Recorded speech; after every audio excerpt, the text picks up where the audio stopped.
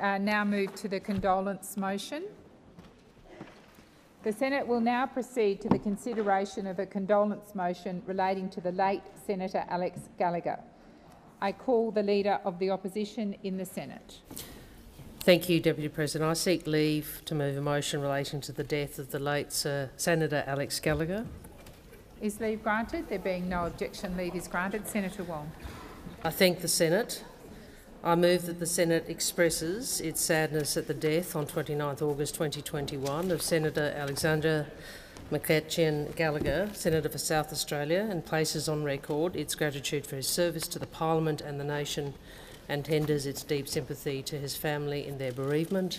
And I can, can I also acknowledge the courtesy extended by the government in having the opposition move this motion and for the adjournment after the conclusion of the condolence.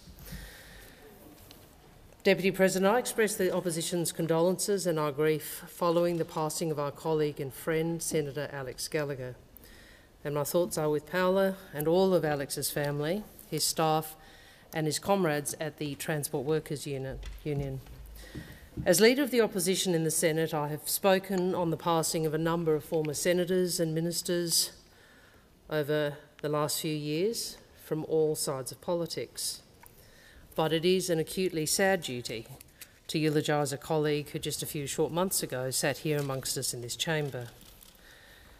And I know many of my colleagues here miss him dearly. We knew Alex had cancer. He once told us that in response to someone asking him how he was. He replied, How do you think I am? I'm dying of cancer. Yet, despite his frankness, it is still hard to confront the reality that he is gone, that his determination in the face of adversity was not enough to defeat the disease that ended his life on the 29th of August. And the fact that we knew of his fragile health did not make the news of his passing any easier. Despite his illness, Alex was determined to remain a senator. And even after his diagnosis was announced in January 2020, he continued to work as much as he was able to. Alex joined us and participated in the sittings of the Senate in Canberra as recently of June, as June of this year. And the determination he demonstrated in doing so was a hallmark of the way he conducted himself throughout his life. Alex Gallacher never forgot the workers he was elected to represent. In his first speech, he said, I will strive to be true to the Labor values of a fair go and a better chance for all. It is my belief that the Labor Party is the only party that provides all Australians a greater share of the prosperity of this great nation. And at every opportunity, he brought the Senate's attention to those people who are at the heart of what it means to represent the Australian Labor Party, especially in the transport industry and Australian workers across this country are better off for his advocacy and his commitment. Born on New Year's Day in 1954, Senator Alex Gallacher's early life was peripatetic. As a child, he went from Scotland to England, back to Scotland, then Wales, and again to England. The youngest of five, his mother died when he was two. He was cared for by his grandmother before his father remarried, and these were not easy years. His stepmother and her two children later left his father, and Alex felt the impact of poverty, insecure work, and inadequate housing. And he channeled those experiences into a life of fighting for those who needed an advocate, those who did not have the capacity to speak up for themselves. In 1966, at the age of 12, he made the long journey to Darwin and he'd called the Northern Territory home for the best part of the next 30 years before his final migration south to Adelaide in 2011. And it was in Darwin that Alex began another journey, from transport worker to union official, and one that would eventually take him to the Senate. It was there that his two children, Caroline and Ian, were born. In time, they were joined by Terry and Frank, and he married Paola in 2011. Family was always very important to Alex, and he to them. Later in life, he was delighted as his family grew with the addition of grandchildren, and he delighted in their company when they joined him on the golf course. It was very moving at the wake after the funeral to see his grandchildren speaking of him.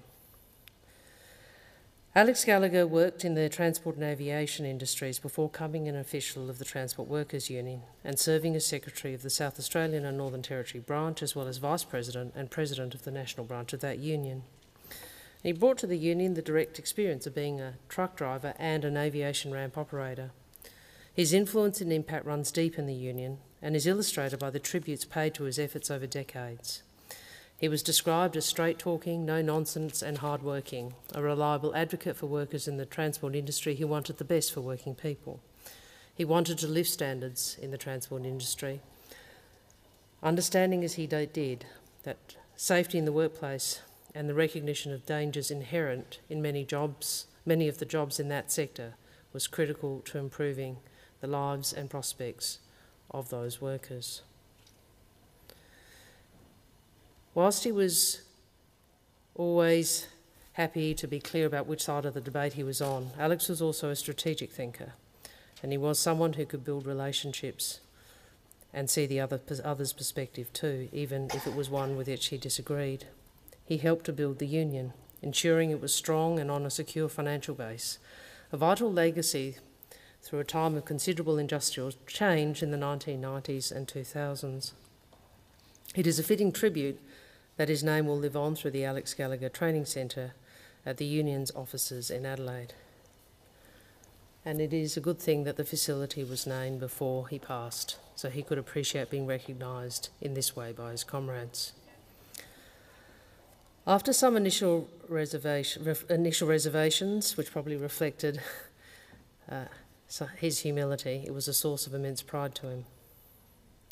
After more than two decades of service to the Union, Alex was elected to represent our state of South Australia in the Senate in 2010, taking his seat on the 1st of July 2011, subsequently re elected in 2016 and 2019.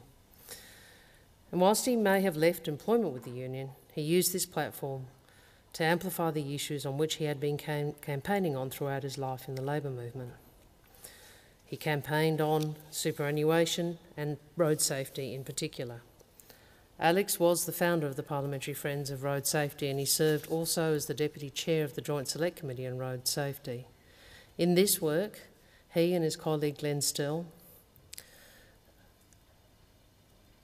put the safety of the people he represented for so many decades at the forefront of their political campaigning and there is no doubt that this work saved lives. He served on a number of other committees, including as chair of the Senate Foreign Affairs, Defence and Trade and Economic References Committees, and in these ro- roles he demonstrated forensic skills that ensured ministers and bureaucrats couldn't slip anything past him. And always, Senator Alex Gallacher stood up for those who needed someone to be their voice in this place, from those affected by road trauma to people with disability to veterans. He stood up for his state. He stood up for South Australian workers, including in the manufacturing and defence industries. Alex was also not afraid to, afraid to take policy stances, such as those in support of the nuclear industry and oil and gas exploration in the Great Australian Bight, that were at odds with others in his own party. In fact, Alex and I were often on different sides on an issue.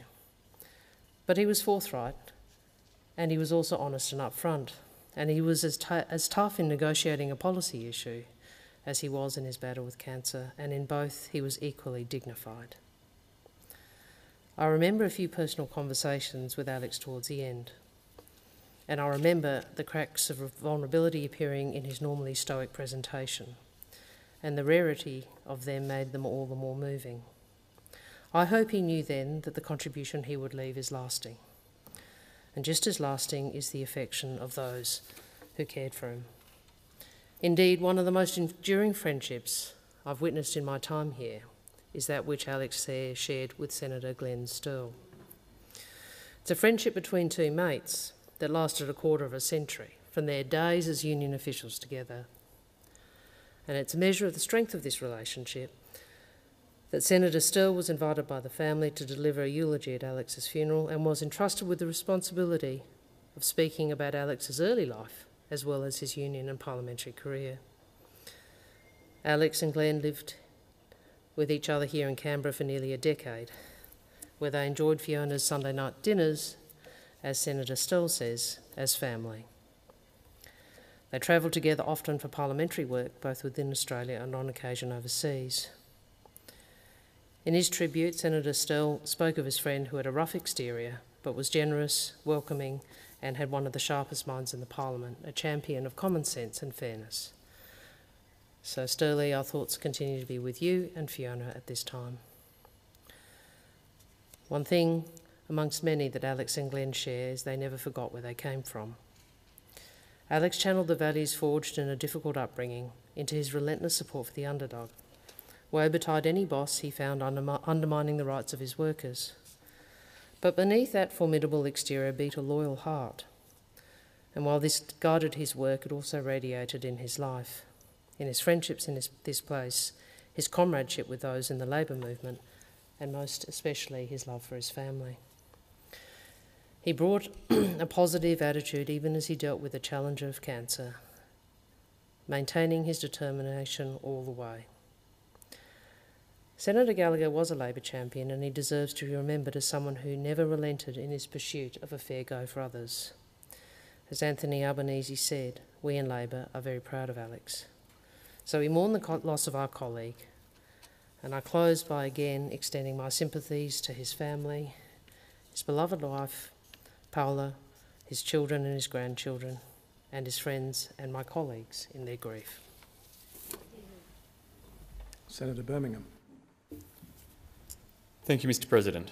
Uh, today we pause uh, to reflect upon and remember the life of a colleague for each of us, a friend across this chamber, and a Labor man truly reflective of the great old style tradition of Labor Party advocates. Alex Gallacher.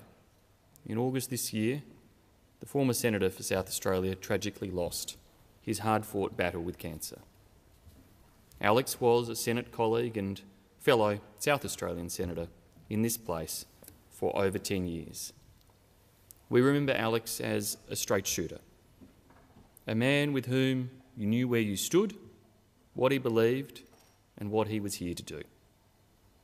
He was here to advocate for and improve the lives of working people, and that is what he fought to do right to the very end. Senator, Senator Gallacher delivered his first speech to this place in 2011. In his remarks, he committed to be true to the Labor values of a fair go and a better chance for all, to repay the faith put in him by the Labor voters of South Australia, by his party and his colleagues, to deliver a greater share of the prosperity of this great nation to all Australians, especially hard-working Australians. In the 10 years that followed, Alex remained loyal to his word and strived to be true to his Labor values. In his final speech to this place, Alex was still continuing exactly as he had started, advocating for the workers of this country to get a better share, as he saw it, of the national income. While we take this opportunity now to reflect on his life and the significant contributions he made to this nation, we lament the loss of a good man and a strong voice for Australian workers. Upon election to the Senate, Alex immediately got to work on championing three key policy interests the transport industry, road safety, and superannuation. The root for his passion for these causes came from his journey that led him all the way to serve in this our nation's parliament. The son of Scottish migrants Alex Gallacher was born in the coal mining village of New Cumnock, Scotland in 1954.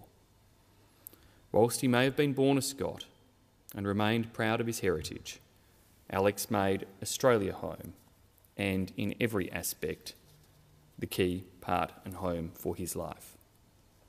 As Senator Wong has said, at age 12, he made the move across Australia.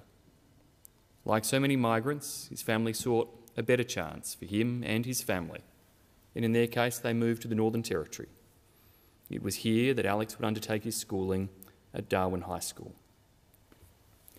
In 1971, he started work as a labourer and truck driver before commencing work as an airline ramp services operator from 1976 through to 1988. Alex, through his roll the sleeves up work, was truly proud of his old school labour mould, having been a traditional blue collar working class man. his background proudly added to the diversity of this place. It was in 1988 that he made what would be a defining step in his journey, ultimately leading to the Senate, by joining the Northern Territory branch of the Australian Labor Party, and then, later in 1994, the South Australian branch. For 22 years, he worked in several roles for the Transport Workers Union in the Northern Territory and South Australia, taking on an initial role as Industrial Relations Officer.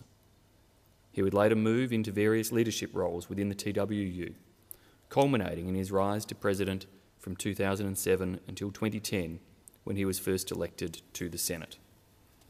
Alex also served as a Commissioner for the National Road Transport Commission and as a Director of the South Australian Motor Accident Commission. He took his love for the transport sector and brought it into this place, particularly his staunch advocacy for road safety and his pointed interest in the rights of workers in the aviation industry. As a fellow South Australian, I also fondly remember Alex for his genuine interest in rural and remote South Australia. He undertook important work with great passion and care on the Senate Standing Committee on Rural and Regional Affairs and Transport. As the member for Grey put it in the other place, wheels on the road is what keeps our remote communities going, and few understood that better than Alex Gallacher. He dedicated a significant amount of work to parliamentary committees, serving on 23 different committees during his time in the Australian Parliament. Despite his cancer diagnosis in December 2019, Alex continued to represent the people of South Australia, the Labor Party, the trade, movement, trade union movement, and his constituents with diligence and passion. Notwithstanding his battle with cancer, Alex focused his parliamentary service on those he served, not himself, earning great admiration and respect right across the political divide. He was, as Senator Wong has acknowledged, at heart a true family man, a quality I and I'm sure all admired in him. It was his family from whom he sought advice and stability. More than that, Alex credited his wife Paola with ensuring the important things in life family, children, and grandchildren were always front and centre. Paola was, as Alex endearingly described her, his tower of strength.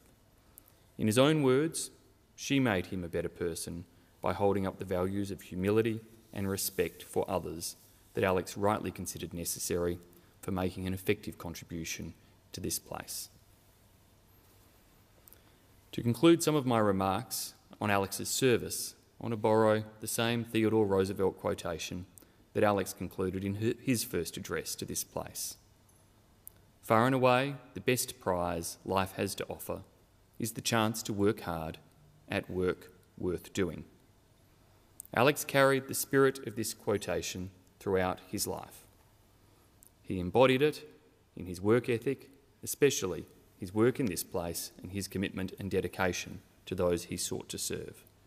For that, we thank him for his service and acknowledge the significant contribution that he made and differences that he made. To those who believe that politics is a friendless profession, Alex proved the opposite. No doubt his SA party comrade, uh, Don Farrell, and perhaps more so, more particularly in a special way, as Senator Wong has acknowledged, his fellow former TWU leader Glenn Sterle were always, obviously, great mates. Alex and Sterlo moved almost as one, it seemed at times, backing each other in to pack an even bigger punch in the views that they expressed and the issues they fought for. To Sterlo, those on this side of the chamber acknowledge the particular loss uh, that you feel of your great mate. But Alex made friends and earned respect across unions, across factions, and across parties because of his roll the sleeves up and get the job done type of attitude. To Paola and to Alex's four children, Caroline, Ian, Terry, and Frank, to his grandchildren, all of whom meant so much to him, I extend our sincerest condolences on behalf of the Australian Government uh, and no doubt on behalf of all senators. I thank the Senate. Senator Waters. Thank you very much, President. And I rise to associate the Australian Greens with the remarks that have been made by Senator Wong and Senator Birmingham. Um, former Senator Alex Gallacher came into the Senate at the same time as I did.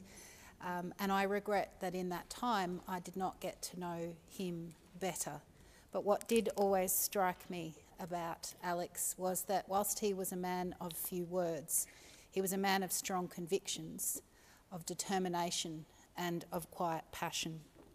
In his first speech, he said that all Australians want a better environment and a greater opportunity for those who come after them. And he worked towards that goal during his time in this place. He did that uh, in his work tirelessly on many committees, of which voice has already been given. Throughout the 1970s and 1980s, he was an employee of transport companies, both as a truck driver and a ramp operator for Trans Australia Airlines. And he, of course, joined the TWU and climbed through their ranks in the 1990s and uh, 2000s and became TWU Secretary in 2007 until his appointment in the Senate in 2011. His passion for workers' rights and for workers' safety was clear, and he continued to advocate for reforms that would tilt the balance away from freight owners and back towards workers. He wanted better regulation for workers' safety. With all the challenges that COVID has imposed on logistics and transport, his advocacy in this crucial time will be sorely missed. Along with the difficulties that COVID has presented, remote parliament has provided some welcome flexibility it allowed Senator, Senator Gallacher to participate during his treatment and stay connected to the work that he so dearly loved. Remote Parliament also offered an insight into people's interests and passions through what they display in their office, and Senator Gallacher became internet famous when he participated from his home office in his garage. It was an insight into a full life, a home office busting at the seams with equipment, art pieces, photographs, and cars it showed a love of art, sport, travel, and family. While his life was cut short, it was clear that it was a rich life, well lived. I'd like to pay my particular condolences to Senator Sterle for the loss of his dear friend, and we send our heartfelt condolences to all of his family, his friends, his staff, uh, and his Labor colleagues, and everyone in this chamber that knew him. Thank you.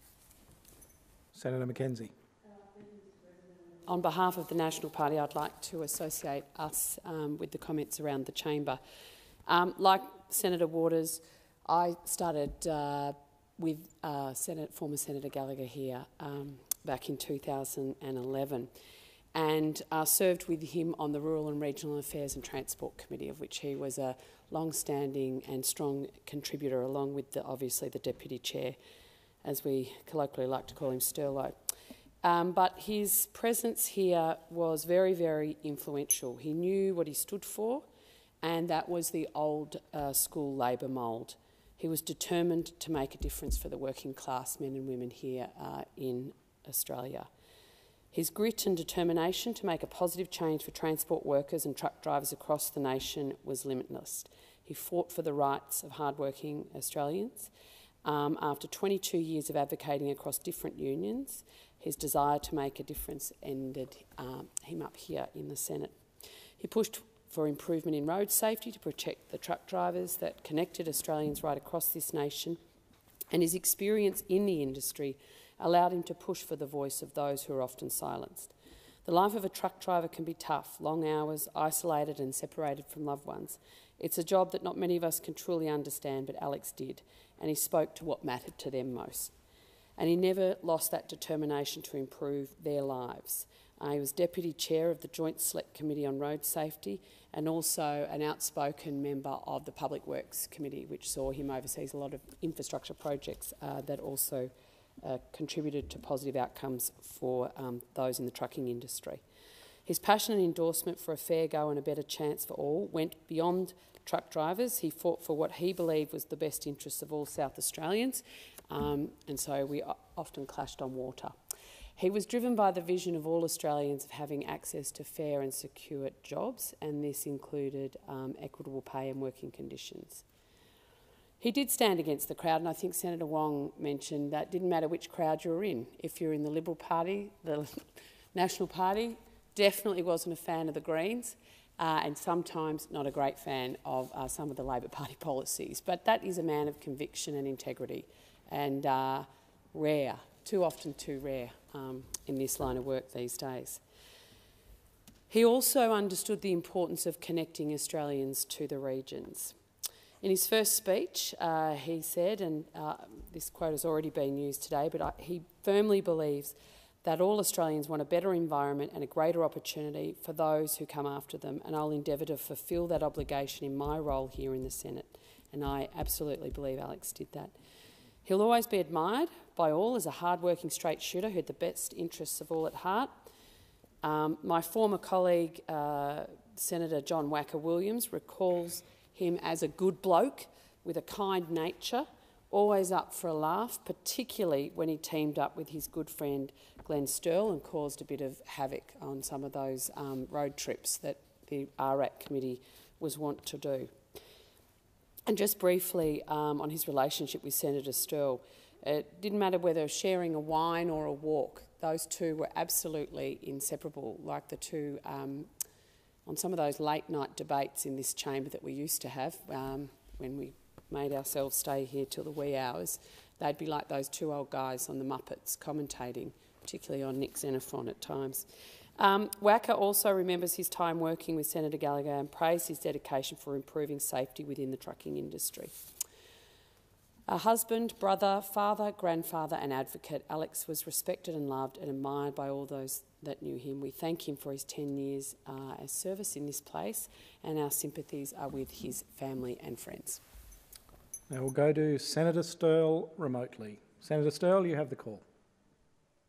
Well, President Brockman, thank you very much and congratulations on your ascension to the highest office in the land on our side of the chamber and I congratulate you. And I want to thank all the previous speakers, my Senate colleagues, for your kind words and never truer words spoken. And it is Senator McKenzie, often we were referred to as Statler and Waldorf the Senate, to which we thought that was quite funny because even we thought we looked like Statler and Waldorf.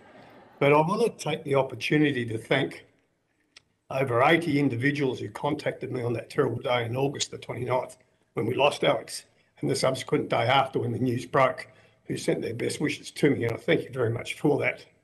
Alex and I, as you know, go back many, many years. We first met in the early 90s. Alex was a brash, older uh, official of the South Australian Northern Territory branch of the Transport Workers. I was the younger, brash official of the West Australian branch of the Transport Workers Union, and we were summoned to, I think it was a, an ACTU get together love in in Wagga Wagga. And I still don't remember to this day what it was actually about, it was that long ago. But on the way over, the West Australians had had a difference of opinion in the car on the way up, and we thought we might have disgraced our branch if the news broke out. After the disagreement, it was the old black eye, and someone had a scratch on their cheek. And anyway, the rest is history. It was the 90s, and it was the Transport Workers Union. But all was forgiven when we got to Wagga Wagga on the Friday night prior to the start of the conference, because we'd found out that some brash young South Australian Northern Territory organiser had knocked out the secretary of the branch and taken over the reins. So Alex, I always thanked him for that. He took the pressure off us, and that was the sort of bloke that Alex was. He was a no nonsense, no muck around, straight to the point guy. I don't condone that behaviour nowadays, but it was nearly 30 years ago thankfully things have changed. As you all know, and you have heard, Alex lived with Fiona and I in Canberra for the last 10 years.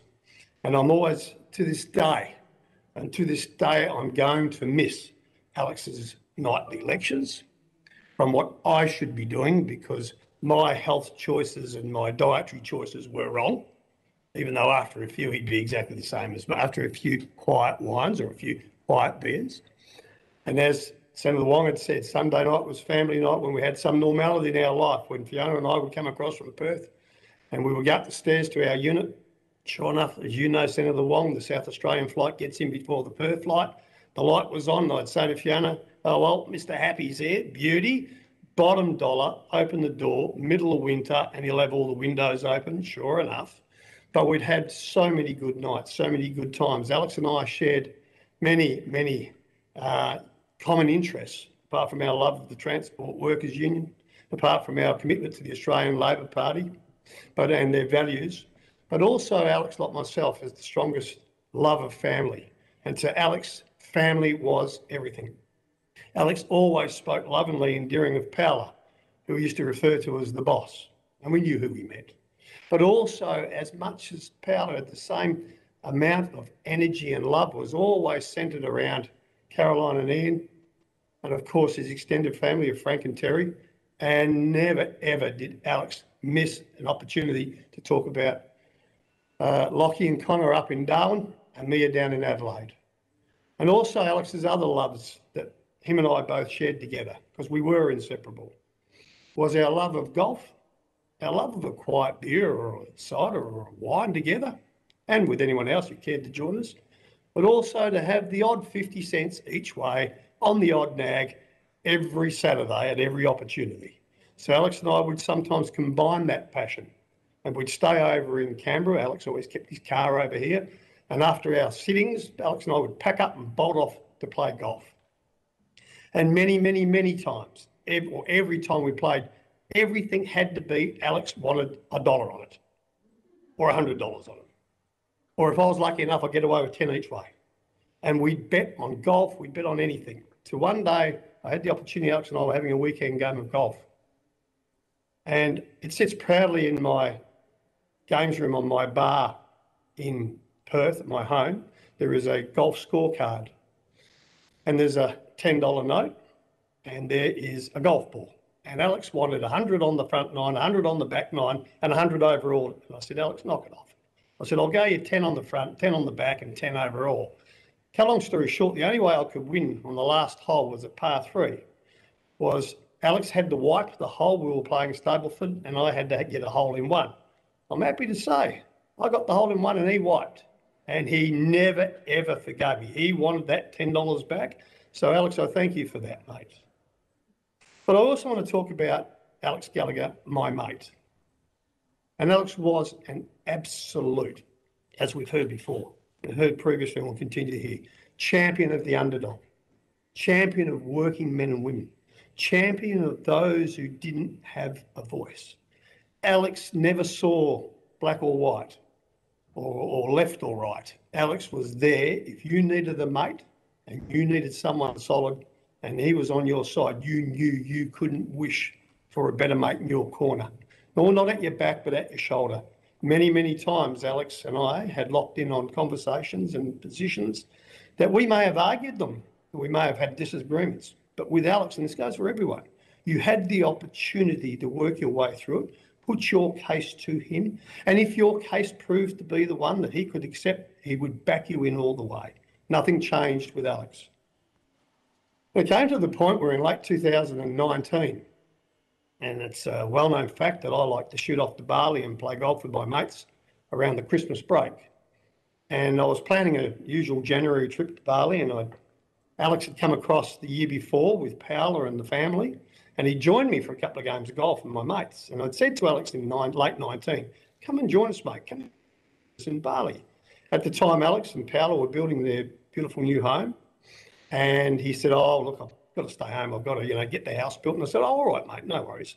And unbeknownst to me, Fiona and the kids had surprised me with a special 60th birthday present where they were coming to Bali. And that's So that shock horror, it was fantastic.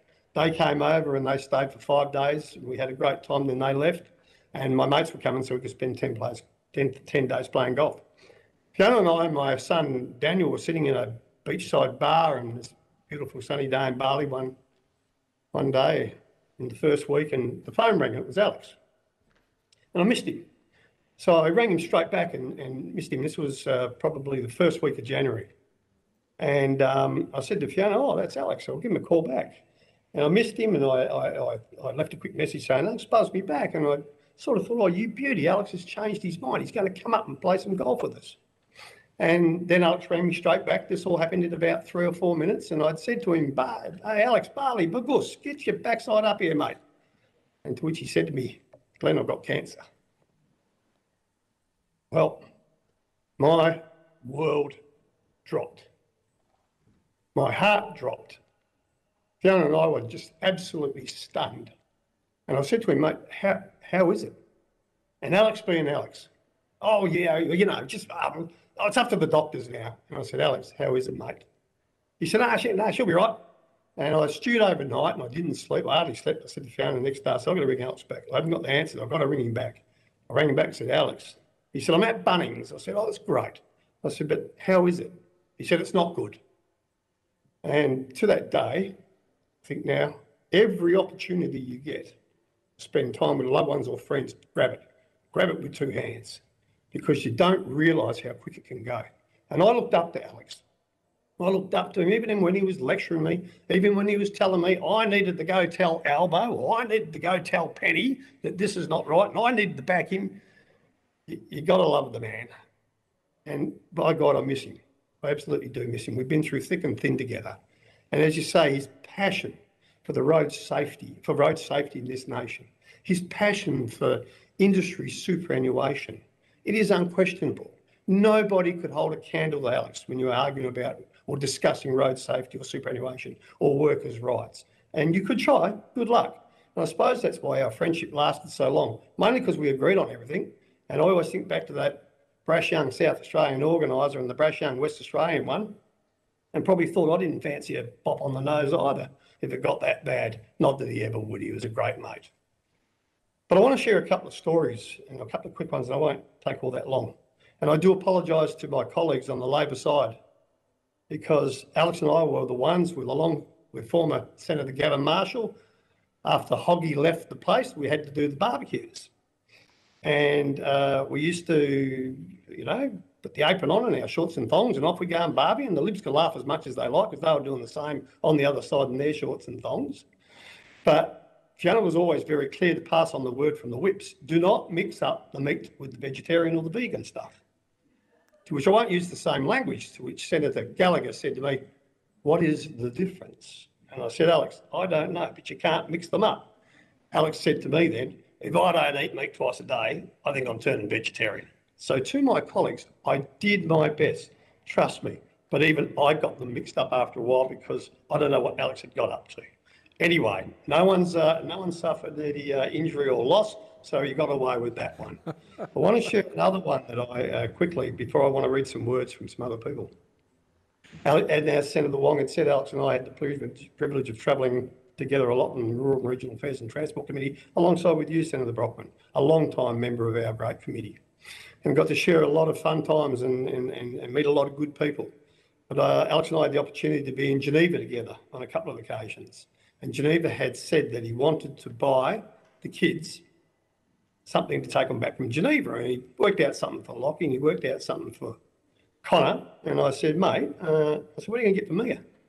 He said, I've got no idea. I said, look around, mate. I said, well, what are we surrounded by? He said, mountains. I said, yeah, well, apart from mountains, what are we surrounded by? Clocks. I said, well, what little girl wouldn't love a cuckoo clock? He said, right, we're going to go get a cuckoo clock. We jumped on the tram, we went and got a cuckoo clock. I tagged along just to make the pair look even more brighter. And cut a long story short, he bought this cuckoo clock, he set it up, and Mia had her own room at Alex and Paola's place. And I used to stay in the spare room every time we were in Adelaide doing hearings. And I got to tell you, I wish to God, I wish to heck I had never opened my big mouth because on every hour, on the hour, sleeping in the spare room, I choked that wooden chook, that wooden cuckoo, because it kept going off. On that, there are many, many stories about Alex, and I'll carry them to my to my grave. I'm going to miss you, mate. I'm really going to miss you. But I want to take the opportunity with the Senate's indulgence just to read some words that other people wrote about Alex and wanted me to pass on. And I'm going to read the first one from Matthew Marozzi. And those of us on the Labor side all know who Matthew is. And Matthew said that when I first started working for Alex, I thought my journey with him would only be a short one. It was a shock to my system. It took around six months for Alex to warm to me and I'm thankful for that first road trip into the Eyre Peninsula where he got to know me personally and the reason why I'm in the Labor Party. There was an understanding of shared values and knowing he could trust me. We then formed a strong working relationship due to many long parliamentary sitting nights, travel for committees, travel in regional South Australia, and our passion for fighting for working Australians. The bond became more than just professional, and we became friends. I was probably one of his most trusted confidants. And he was mine too. I lost my father at the age of 18 to the same cancer that took Alex, and in that time, Alex truly became a father figure to me. Alex and Paola were like an additional family to me, something I will cherish forever. In fact, our office became family too. We were all long-term staffers loyal to Alex, and he was loyal to us.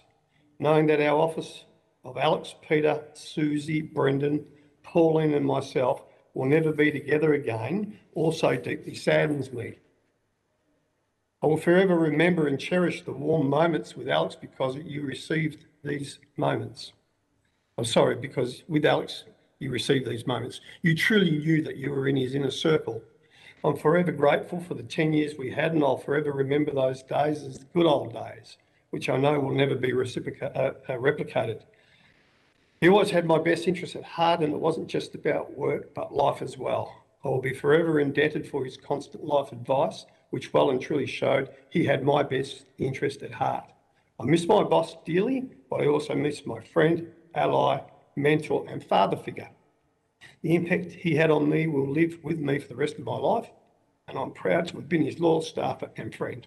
I will miss him. Rest in peace, Alex, and we'll meet again. And President, just in closing, one more uh, set of words I'd like to re- read from a very, very dear friend of Alex and, and, and a person I consider a friend too. And his name is Peter Garsky. And Peter writes, the passing of Alex Gallacher, South Australian ALP Senator, aged 67, has left both myself and my wife Anne with a deep sadness. Our friendship over 27 years was built on our understanding of his many qualities. Family was always a prior, priority from which all of life's activities flowed. Alex was a lifelong achiever, but always open to new learnings.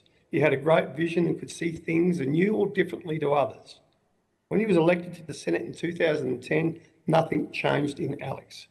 This transition of, in his life was another opportunity to support and assist those in the community with the greatest need. He had an exceptional mind for quality, uh, quickly grasping new concepts. Those who knew him well knew he was the smartest man in the room. And may I add also, Alex thought he was the smartest man in the room too. And so did we at most of the times. He had an exceptionally strong social justice ethic, but always was a pragmatic, uh, with a pragmatic outlook. He was unafraid to call out his own colleagues. And believe me, colleagues, I've been on the receiving end more than you have. Alex never looked to impress anyone. He was his own man with a strong sense of loyalty. He was a great judge of character. Highlights of his life included his contribution to family, to the road freight trucking industry, to industrial relations, to industry superannuation funds, and to the Australian Senate. He had a passion for golf. Condolences to his wife Paola, his four adult children, his wider Scottish and Italian families, and his many friends. He will be missed. And thank you very much, Peter. And to the Senate, rest in peace, mate. Thank You you, Senator. Sterle. Senator Ruston. Thank you very much, Mr President. Um, well, many go through this place and they are remembered for a myriad of reasons. They may well have risen to high office as ministers or, or leaders of parties. They may have courted controversy or they may well have got into trouble. They may well have bestowed their views on Sky After Dark or the ABC. But that wasn't Alex. Alex made his mark and will be remembered here for two reasons. One, because he was a damn good bloke, uh, and the other one is that no matter how long he was here, he never stopped fighting for the people that sent him here and the people that he believed in, uh, that is, the working, hard-working um, Australians. Um, Alex also never really played politics. Um, he made sure that everything that he did in this place was about playing the issue. Uh, and my respect for Alex and the way he went about his, play, his, his job here, I, I can only say I have the utmost respect for him and the way he conducted himself. Um, you know, like Senator McKenzie, I have very fond memories of my first committee that, uh, that I sat on, being the Rural and Regional um, Affairs Committee uh, where Alex and, and you, Sterlo, were, were both on that committee. And we worked closely together. And I think when we worked together on that committee, you could have been excused for thinking that there was no politics and sides of politics because everybody on that committee just wanted to get the right outcome for rural and regional Australia. And I'll acknowledge the fact that, that both uh, Senator Sterle and Senator Gallacher were people who really understand rural and regional Australia. Um, yeah, it's funny that you should have raised the, the term um, Statler and Waldorf. I've often thought of the pair of you as that. A couple of cantankerous old fellas that used to sit on the other side of the chamber, giving us great cause for mirth on this side of the chamber because you were giving your own side as much grief as you were giving us. Um, great pleasure in, in watching that all go down. But um, to you, Senator Sterle, um, you know, a couple of peas in the pod, um, you and, and Alex. Old school mode, uh, old school mould, and you know the fact that you're really you, you loved a game of golf, you loved a punt, you loved a glass of wine. I mean, hilariously though, um, for all the, the love of, of golf that uh, that Alex had, I, I still remember it to, to the, the last time I saw him on the golf course. He wasn't much of a golfer, but by God, he enjoyed giving it a, a red hot go. Um, at the last election, I, I can remember Alex uh, decided that he wanted to have a bet with me, and he said to me, Rusty, which is what he called me. I don't think I was ever called Senator Anne or anything like that. I was always Rusty. He said, mate, what about a bet on who gets elected first? And I said, okay, you're on. I'll be ple you'll be pleased to say that the bottle of red wine that he gave me after he lost that bet was uh, consumed with great pleasure, a great South Australian uh, red wine. And uh, you know, he, was, he was somebody who supported his own community hugely, including making sure that he consumed as much South Australian great red wine as he was possibly able to, which is um, uh, something that I'm sure that all South Australians in this chamber would aspire to. Um, I sadly was not able to make Alex's funeral um, because of the quarantine arrangements that existed at the time. I would have loved to have been able to be there because to me, Alex wasn't a member of the Labor Party. To me, Alex was a friend. Um, I didn't see him as a political rival. I saw him as a friend. Um, and so I'm delighted today to be able to put my condolences on the record. Um, to Paola and, and to um, Alex's children, Carol and Ian, Terry and Frank, and all of his grandchildren, um, I wish to extend my condolences. Um, it's a great loss for this place. Um, it is a great loss for South Australia. and obviously, it is a terrible, terrible loss to Alex and his family. But please remember that Alex was one of the great people that has gone through this place. He will be remembered because he made a difference. He will be remembered because he's a good bloke. Senator Farrell. Thank you, uh, Mr President. Uh, I rise to speak uh, on this condolence motion of uh, former South Australian uh, Senator Alec uh, Gallacher. I'd like to begin by expressing my sympathy and condolences to Alec's family. In particular, I offer um, my sympathies to Alec's wife, Paola, his daughter Caroline, his son Ian, and stepsons Terry and uh, Frank. My condolences also go to his uh, daughter in law, uh, um, grandsons Connor, Lachlan, um, Jerry, and uh, his granddaughter uh, Mia.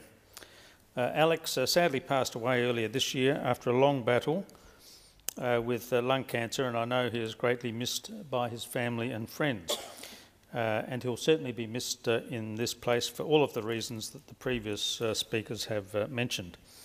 Uh, Alex was born uh, on the 1st of January 1954 in, uh, in Scotland. He was a New Year's Day baby. Alex's family moved to Australia in 1966, and after leaving school, he worked as a labourer and a truck driver. He ended up getting a job as ramp service operators with TAA, as it was known then, and uh, Alex uh, joined the Transport Workers Union in 1975. That was the start of many years of passionate and dedicated service fighting for the rights and conditions of transport workers in Australia, which um, Senator Sterle uh, very humorously uh, uh, went through some of those uh, particular occasions of his work during that time.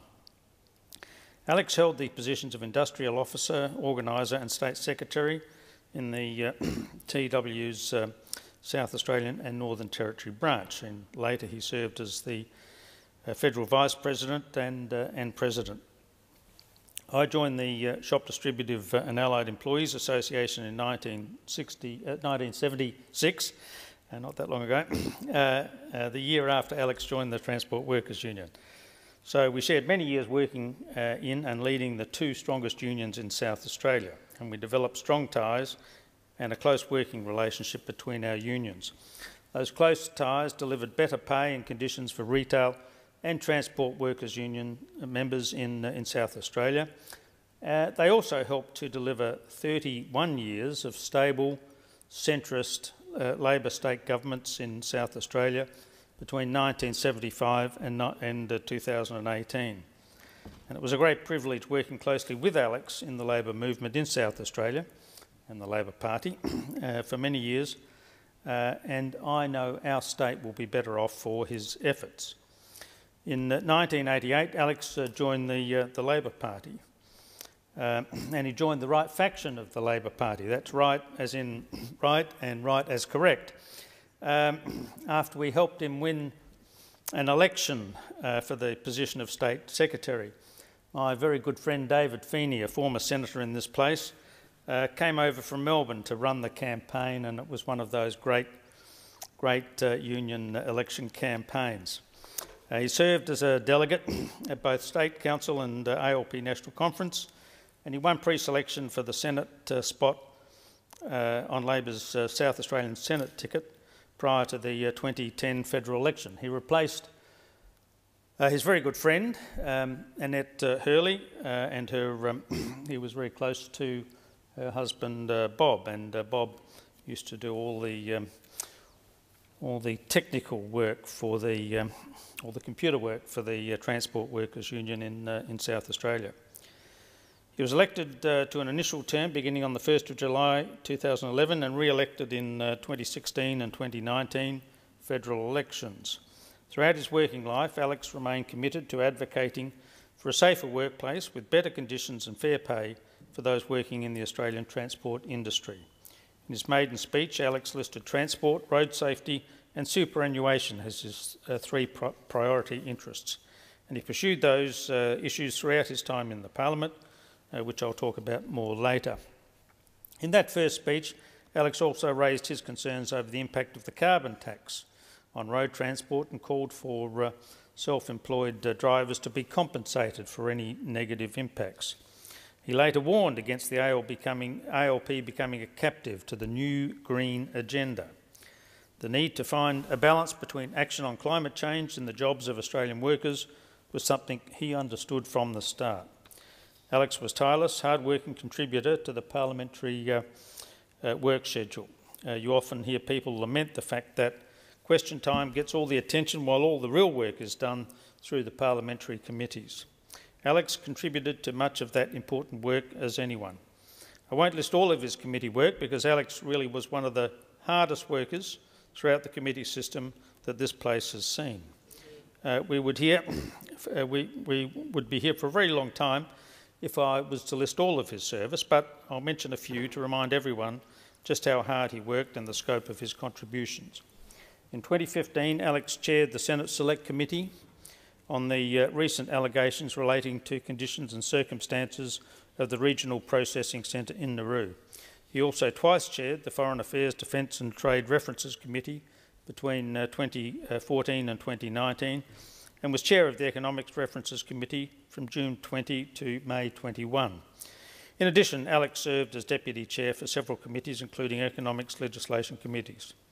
Alex uh, was very diligent in his uh, committee roles and was respected um, and even-handed uh, chair.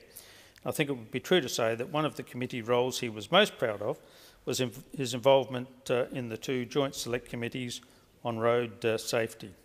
As I mentioned earlier, um, Alex uh, remained committed to, del to de delivering uh, safe workplaces and better working conditions for Transport Workers Union, uh, uh transport workers. Through his work on the Road Safety Committee, Alex continued to pursue improved road safety, not just for transport workers, but for all Australians. Alex uh, was Deputy Chair of the, se the second uh, Joint Select Committee on Road Safety from June 2020 until November um, 2020.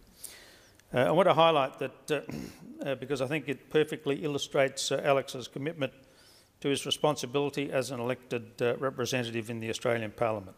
Despite the obvious challenges presented by his illness, Alex continued to contribute to our nation's Parliament.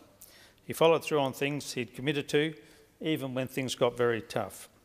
And he continued to contribute to debate via video link, even when his poor health and uh, the COVID-19 pandemic made it impossible for him to get here in person. Alex's work ethic stands as a reminder that we're all privileged to be in this place and we have a responsibility to work tirelessly in the interests of the Australians uh, who elected us and whom we represent. Down to earth, hard-working and dedicated to what he believed in, Alex Gallacher was a great fighter for the rights and conditions of transport workers. Alex passionately pursued his interest in South Australians uh, in the federal parliament and never forgot his working class roots nor his Carlton Football Club. I again offer my condolences to his family, friends and colleagues who will be sadly missed. Senator Keneally? Senator Fawcett. Senator Fawcett. You, uh, Senator Keneally. Mr President, I'll be brief. Still, I'm glad you mentioned uh, golf. Um, the word golf comes to mind when I think of Alex, the number of times on a plane from South Australia, the number of times during divisions, the number of times on committee trips. He would talk about golf, his favourite clubs, the things he'd played at, uh, etc. But it's the other word golf that I want to mention in three uh, contexts the G U L F golf. First is my first impressions of Alex, the gulf between my impression and who he was. Uh, we were both elected in South Australia for the 2010 election, and we were in the office of the Electoral Commission when they read out the various scripts that uh, announced that we were going to be elected. And I couldn't help but wonder what a dreadful time I was going to have with this grumpy old bloke who uh, seemed so unimpressed by this uh, young Liberal that was uh, in the same room with him. Well, I couldn't have been further from the truth. Uh, he ended up being one of my closer colleagues uh, in this place. Golf of, um, or the Gulf of St Vincent and Spencer Gulf, uh, speaks to me of his love for South Australia, the, the remote and western regions of South Australia, where he spent a lot of time. And some of the most constructive work that I did with Alex was on the Senate Foreign Affairs Defence and Trade References Committee. And we had a significant breakthrough uh, at Port Augusta, at the top of the Gulf, uh, looking at how defence interacted with regional communities in terms of training areas and how they actually invested. And uh, it was a fantastic committee. Uh, as I said before, Alex is not political, Alex was concerned about outcomes. And it was really useful to be able to work collaboratively uh, to actually extract from defence the fact that when they said local, they meant anything in Australia as opposed to what came overseas. Whereas we thought local was Port Augusta, Port Pirie, uh, the local towns, the people who actually drove past the training ground. And as a result of that report that Alex was the chair of and, and wrote, uh, we've seen some significant reforms uh, come about how Defence engages with local communities through its procurement. And so there will be people around this nation, uh, architects, builders, fencers, sign writers, all kinds of people who will get work on defence projects because of that committee uh, which Alex chaired. And the final gulf, I guess, is the perception that the Australian people have. Uh, it's, it's a gap between their perception that Parliament is a place which is all about antagonistic interaction between people, just point scoring, uh, the perception that you only ever have colleagues here, you don't have friends. Alex is a great example of the fact that across the political divide, people often do work closely together, build good friendships uh, for good outcomes for Australia. Rest in peace, Alex Gallacher. Senator Keneally. Thank you very much, Mr President. I rise to contribute to the condolence motion for Senator Alex Gallacher. And in doing so, I express my condolences to his wife Paola, to his children, his grandchildren, and to his friends and colleagues here, particularly Senator Sterle and Senator Bilyk. You know, it is never easy to watch somebody die of cancer, and 67 is far too young. Of course, it made it very difficult for Alex and for those who loved him because of the COVID pandemic. It made it exceptionally difficult for those of us who would have liked to have spent time with him. And I think particularly it's hard today that Senator Sterle and Senator Bilyk and so many of our colleagues are remote and unable to participate in person in the chamber today. And I'm very grateful that we have the remote participation and the video links that allow that to happen. COVID has been really hard, and I think many of us have had experiences in the last year of losing someone. It's very difficult to say goodbye to someone when you can't be with them in person. You know, I think back to the day after the May 2019 election, that unexpected result we all had. As I was uh, driving back to my house, I got a phone call. The first phone call I got from a colleague the day after the election was from Alex Gallacher. And he called to offer me his analysis on what had happened, to offer me his frank assessment that we had too many policies, to uh, offer me his views on what we should do next as a party and a movement. And he was already charting within, well, less than 12 hours from the loss, he was already charting our path to victory to the next election. To me, and to many of us, I think all of us, the great tragedy of Alex's death this year is that he will not be with us next year when we hopefully see a Labor government come to power. And when that happens, when that happens, the passion and the values and the policy sense and the commitment to working people that Alex Gallacher brought not just to the job, but indeed to his every interaction with his colleagues on this side of the chamber and that side of the chamber, in his advocacy, in his committee work. Those values, those commitments will sit at the heart of the next Labor government. And so, the greatest testament that we, as Alex colleagues, can, play, can pay to him is to ensure that a government that governs for the people he fought for, for the people he represented, and for the values he espoused is the government of Australia. Alex was a fierce warrior for working Australians. He was a dedicated family man, and he was a dear friend to so many in this chamber.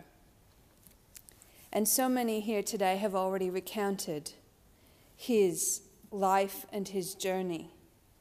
I think, as the Shadow Minister for Immigration, one of the things that strikes me about Alex's family story is it's one that so many Australian families uh, can relate to, and that is a decision to pack up and leave the country that they have known and called home and to come to Australia seeking a better life, seeking more opportunity, seeking to build something new in this country.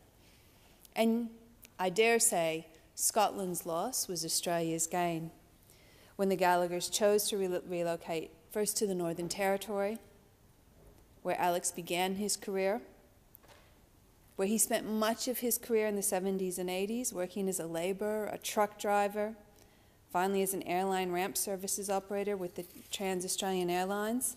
Now, those early jobs, they won't surprise anyone who saw Alex in this place. He was always immensely proud of his background.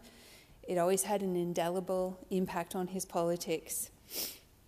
And those experiences, particularly in trucking and av- aviation, drew Alex to the Australian Labor Party and the trade union movement.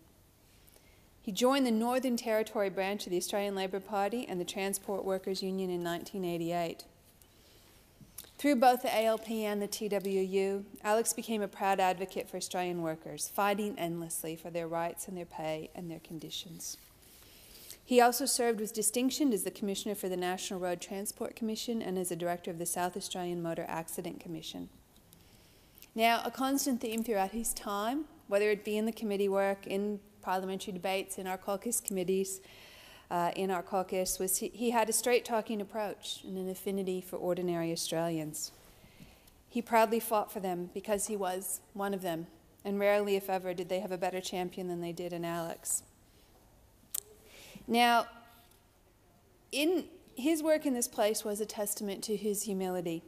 He always stayed true to those values of his early life and consistently advocated with great pride and passion the issues which impacted uh, ordinary Australians.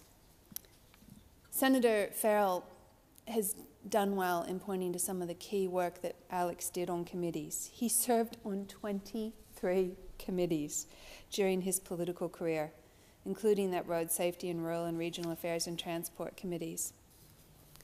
One of the great challenges I had over the past few years, along with Senator Farrell, was to constantly have to check in with Senator Gallacher to know if he was going to be able to make it into Parliament, if he was going to be able to make committee hearings, what arrangements we needed to make. And the thing that always struck me in those conversations is that he was generous. He wasn't territorial. He was honest. And sometimes showed an extraordinary determination at times where I might have thought the illness might have gotten the better of him to come in, in here, to do estimates, to do committee hearings. But he also was straightforward if he felt he couldn't do it and generous in making sure that his colleagues could step in, not without any, any propriety. One of the other challenges I sometimes faced with Senator Gallacher in our conversations was that he had a lot of views about motions. And sometimes he had a lot of views about the positions we were taking on certain motions. And Senator Sterle is nodding his head on the screen and knows of what I speak. And the thing about that is that Alex was frank, he was direct. He sometimes kept me on my toes. He never took anything for granted, and he never took a backward step. What he was, though, at times willing to do was to recognize that there was a forest and see it for the trees. And I make that point because while we are right to laud his straight talking, passionate conviction, which did never waver, he was part of a collectivist movement, the Great Australian Labor Party. And before that, he was part of another collectivist movement, the Transport Workers Union. And Alex in his conviction and in his passion, never saw himself as greater than the whole. He never put himself outside of that of his colleagues. He understood that we were a collective. And so, even, and I'm, he never compromised, but he also never made his view more important than someone else's. He always worked with me and with others to try and find ways to ensure that we were true to our collectivist commitment to one another. So, Alex was a good friend to so many in this caucus, and I know that so many of my colleagues will contribute to this condolence motion. I will say, at a personal level, he offered me support, friendship, and loyalty far more than I could have ever expected, perhaps because he and Senator Sterle almost very generously, have, have, uh, have recognized my brief period as a member of the Teamsters Union. As thank you, Senator Sterle, as appropriate enough to be a somewhat honorary member of the TWU. But Alex, in his advocacy for working people, in his principled, passionate commitment to fight for the rights of working people, to ensure that they had the opportunity for a better life, to ensure that a working person could support their family, buy a home, have some time for recreation and a holiday on an ordinary working salary. They're humble, important, significant goals for the Australian people, and Alex was constantly motivated by them. As a humble man, I'm sure Alex would have shied away from some of this pomp and circumstance today, but I hope that it's the first of many accolades and honors that serve to remind us of what people can achieve when they live their lives with passion and dedication. So I conclude again by expressing my condolences to Paola, to their children and grandchildren, and our thoughts, my thoughts in particular, with all of them today as we celebrate Alex's life. We will all miss Alex. The past few months of sittings have not been the same without him. And I hope that we see his likes in this chamber again. His passing is a great loss to this chamber, to the Australian Labor Party, to the Transport Workers Union, and indeed to the nation as a whole. Senator Kitching. You, Mr President. The death of a colleague while they still serve here in the Senate is a reminder to all of us that our time on earth is limited and we ought never waste a day or indeed a minute here.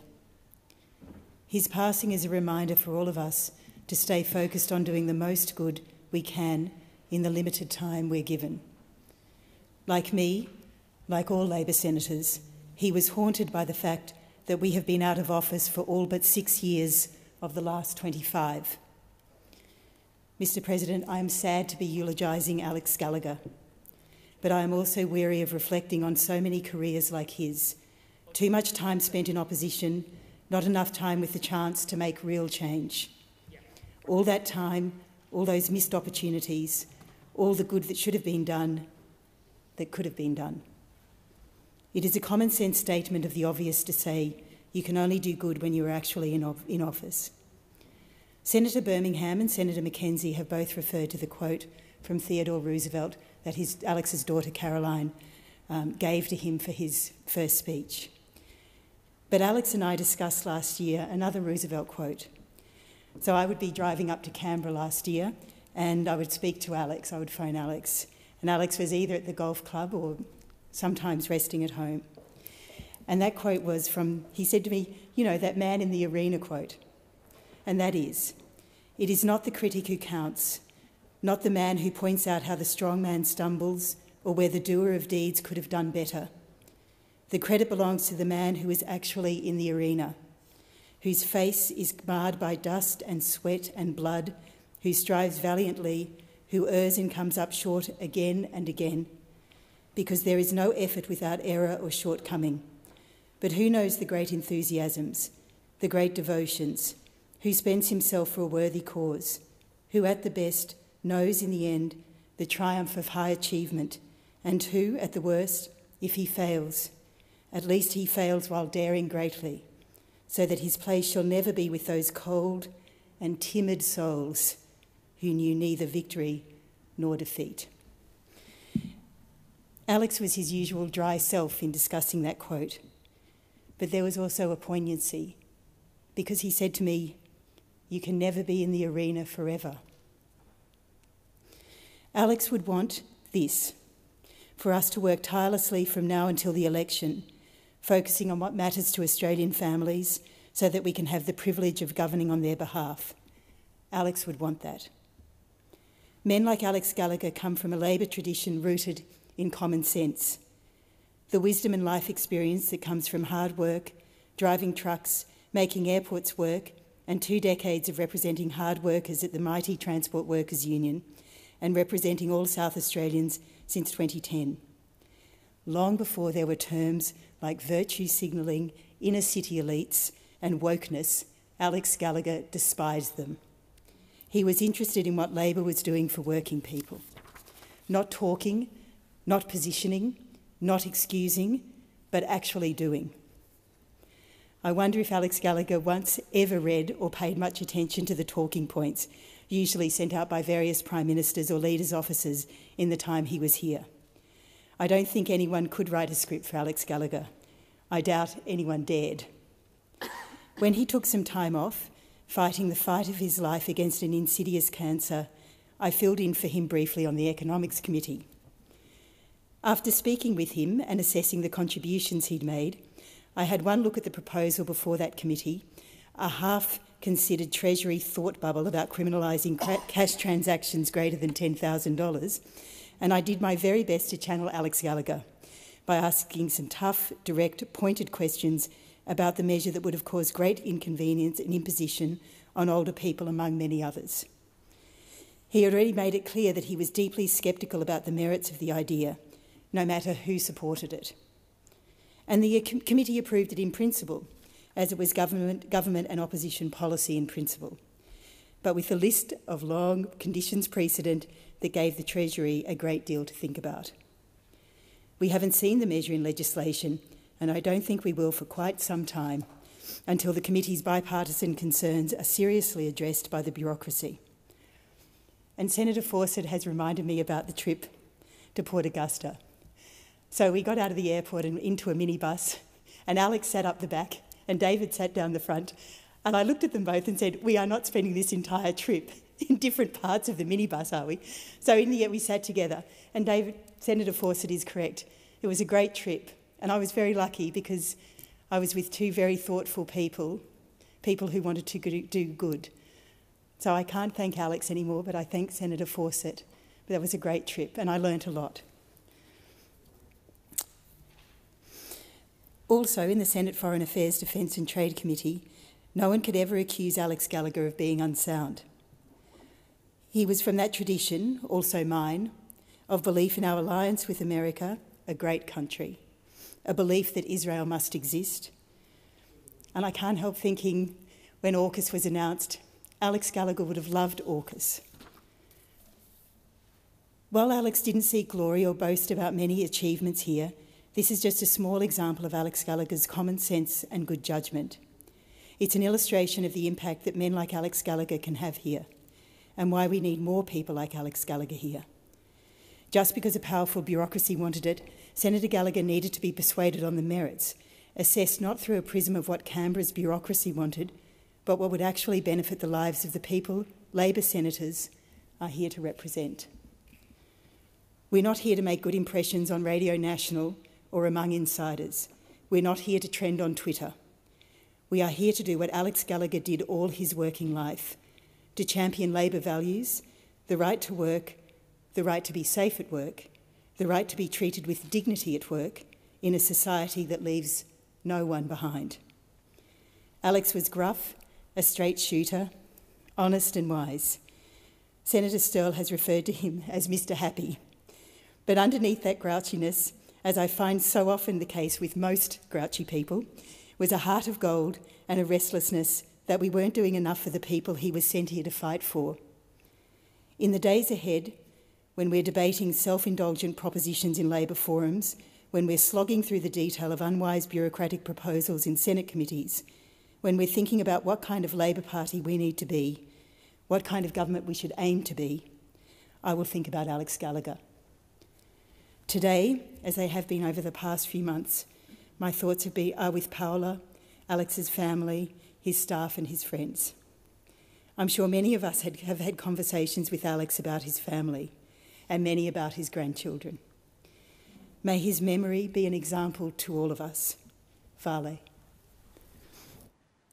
Senator Marielle Smith.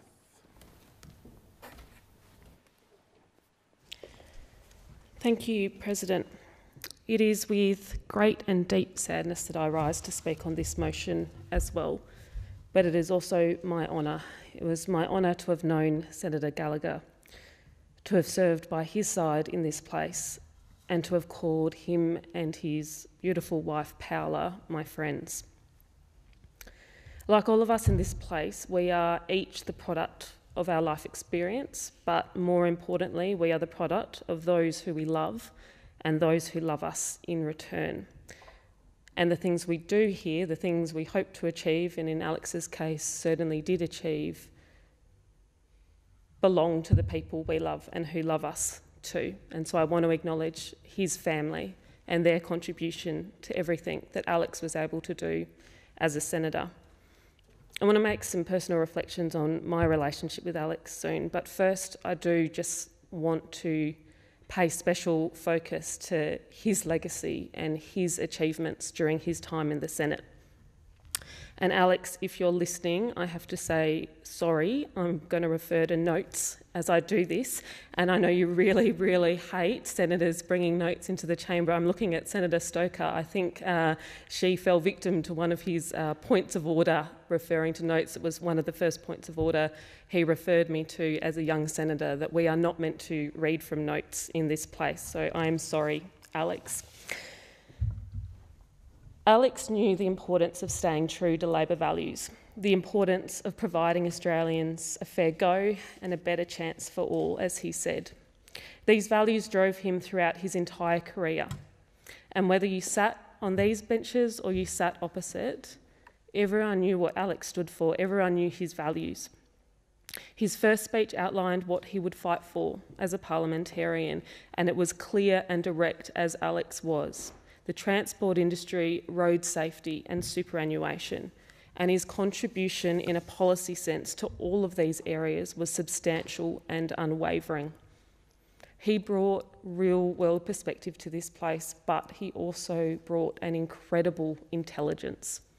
And his immediate impact on Parliament saw the Labor government bring in the Road Safety Remuneration Tribunal into legislation. This was an objective that Alex alongside his colleagues and comrades at the TWU, had fought for for almost two decades.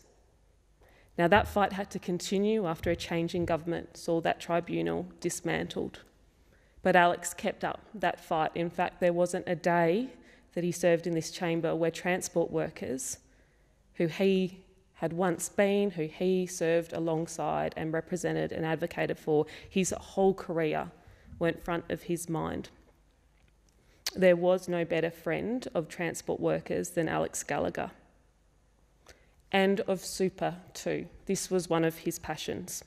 He knew the benefits of super, the intrinsic benefits that it could bring to working Australians, its impact on dignity in retirement, its economic benefits to Australia. He was absolutely passionate. And in his last months in the Senate, I know he was also becoming increasingly passionate about the disparity for women in superannuation.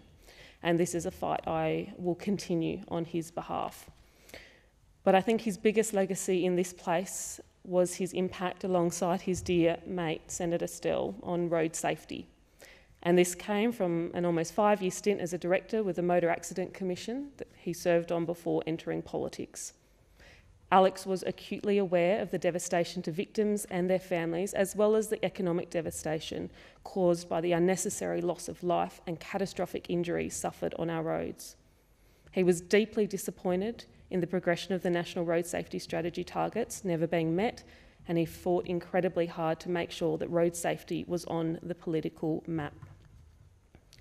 That included through his work on the Parliamentary Friends of Road Safety. It was very evident in his work as estimates and his push for the government to form the Office of Road Safety within the department. On the 11th of November, the government announced that autonomous emergency braking technology would be mandated in the Australian Design Rule by 2023. This would save 580 lives avoid tens of thousands of serious and minor injuries, and have a net benefit of close to $1.9 billion. Alex first called for the mandating of this technology in September 2014. He saw the need for this, he fought for it relentlessly until it was achieved. He knew this policy area better than anyone. He believed in it deeply, and he has had an incredible legacy in this space, which will never be forgotten his committee work too, where he pushed for common sense results. He was true to his principles. And he would advance his views whether or not they aligned with the views of our party, often. The River Murray was a, huge passion of Alex's, and one area that he was deeply passionate about policy wise uh, was the NDIS. He served on the NDIS committee. And I know these the issues relating to the NDIS, especially the times that we saw the NDIS not live up to its promise. We saw it fail the people who needed it most. These issues weighed on Alex heavily, and he was incredibly dedicated and focused on how he could use his role on that committee to improve the lives of Australians with disability. He loved our state, he loved his duty electorate of Grey. He travelled there regularly. He never flew in and flew out. When he went to Grey, he wanted to stay. He wanted to be amongst it. And one of the proudest moments he had as the duty member of, for Grey was when the Elliston Reconciliation Monument was erected after much debate in the town of Elliston, which is almost halfway between Port Lincoln and Ceduna. Alex supported the monument, recognising the massacre of 1849, where the local First Nations people uh, were driven off the cliff, as it's described. Alex considered the official opening as one of his more memorable and important moments as a senator. Alex was a natural at the work he did. He was incredibly focused and incredibly hardworking. He did the reading, he did the work. He never turned up unprepared. He always turned up knowing what he wanted to get out of a hearing, out of his day in Parliament, out of a speech he would give. He never did anything without purpose. And we saw this work ethic, this focus of his so intensely when he was sick when he refused to slow down, when he refused to step back. He believed in his work, he believed in what he did, and he was determined to continue fighting the fight that he believed in, representing the people he stood for right until the end. I know we've all had different experience of Alex. We've all seen different sides of him, and I'm sure we can uh, all remember moments fondly where we found opportunities for agreement with him, where his gruff exterior faded away and you saw the warmth and the passion beneath. We can probably all also remember now fondly moments where we disagreed with Alex, and you certainly weren't left wondering uh, about Alex's position or what his view was. But Alex gave people a fair hearing always. If you had a good idea, he would listen to you. If you were well reasoned in your argument, he would listen to you. And he fought for what he believed was right.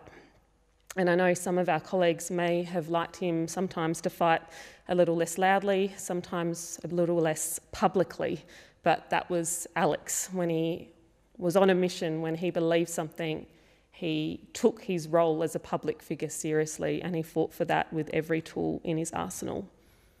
Alex was an extremely hard worker, and his career, I think, is best referenced by him himself in his maiden speech when he refers to Theodore Roosevelt saying, Far and away, the best prize that life has to offer is the chance to work hard at work worth doing.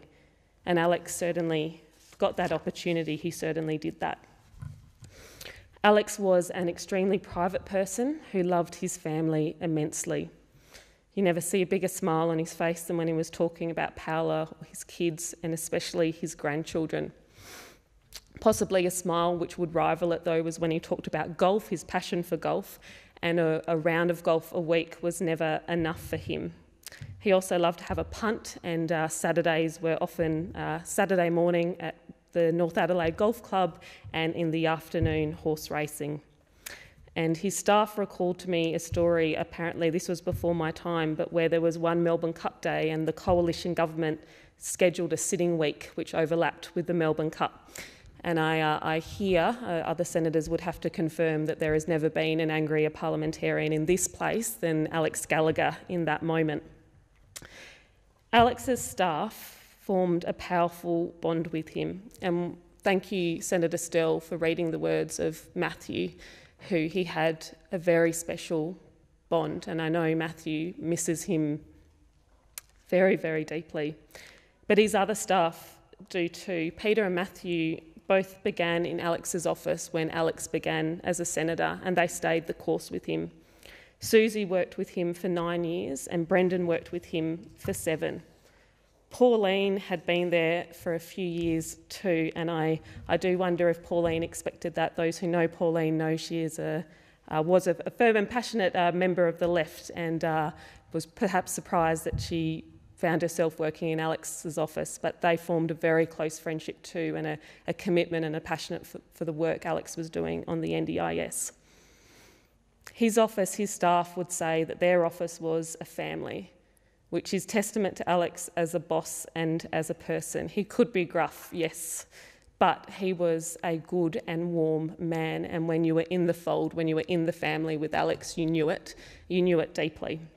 And I don't think I've ever, in my time in politics, not just as a senator, but for the many years I've been around politics before, I don't think I've ever seen an office as close and connected as Alex's were and as loyal to their senator. And I want to acknowledge them because this has been a really tough time. All of his staff stuck with him as he was sick and right up to the end. They believed in what Alex was doing too. They knew the man so well and they believed in what he was doing. Alex had another work family as well, and that's his family at his beloved union, the Transport Workers Union. And I know Ian Smith and Alex's friends at the TWU are watching these proceedings now live in Adelaide.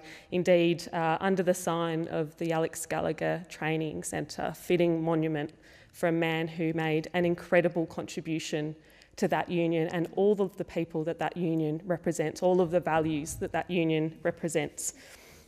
I know everyone at the TWU will feel this loss deeply because when Alex left the TWU to become a senator, he never walked away from those he served with. He was always there, always providing support, always there to those who needed him. And one of the amazing things about Alex was he really, he really believed in people. When he believed in people, he helped them. He gave them active support, active mentoring, active encouragement.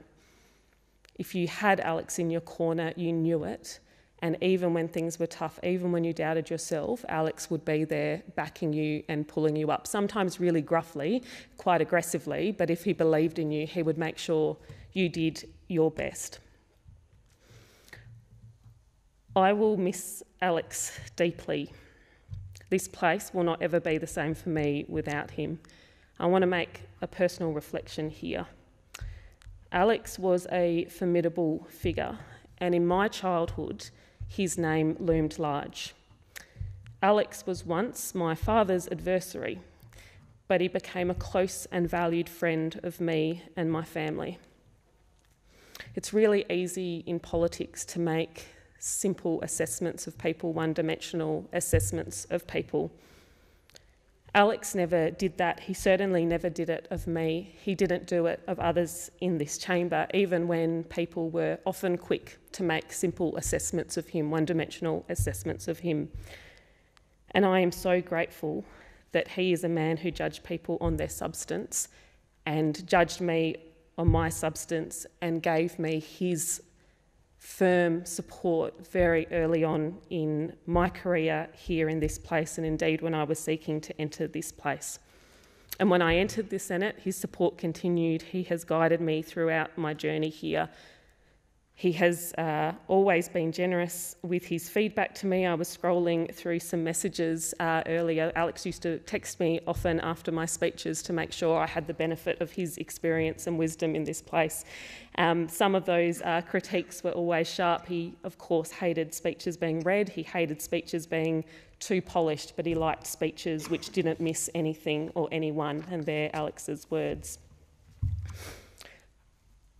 Alex when I was when I was going through my messages from Alex in preparation for today, there were a few which stood out for me. Messages he sent me of encouragement and support. He he sent me a text defining our role. He said to me, "Your job is to be different, Marielle. It's to be authentic and to be credible. It's to let people see you, to believe every word that you say." Alex was authentic. You knew it. You knew it. It was very good advice. He also gave me the advice keep your eye on the main game, and most importantly, in this place, be yourself. Alex was his self. Alex never had to support me, but he did. He mentored me in the ways of this place. Some of those lessons I will keep with me, some of those um, I might disregard because our styles are pretty different, but I will always value the things he taught me and the lessons he tried to impart. But Senator Stoker, I promise I won't be on my feet if uh, there's, there's notes used in this place. Alex loved Paola deeply. On more than one occasion, I would hear him recount when he was summing up his view on one individual or another. Paola has good judgment. If she thinks someone is decent, then they're okay with me. Paola was the boss. One of the, the last social moments I had with Alex was uh, not long after my daughter Zara was born, and Alex and Paola came to visit Clint and I at our home uh, to, deliver, to deliver my son Benjamin another truck, which Alex was uh, always prone to do. He wanted my son to be a truck man and not a bus man. Um, it's very important, Senator Wong.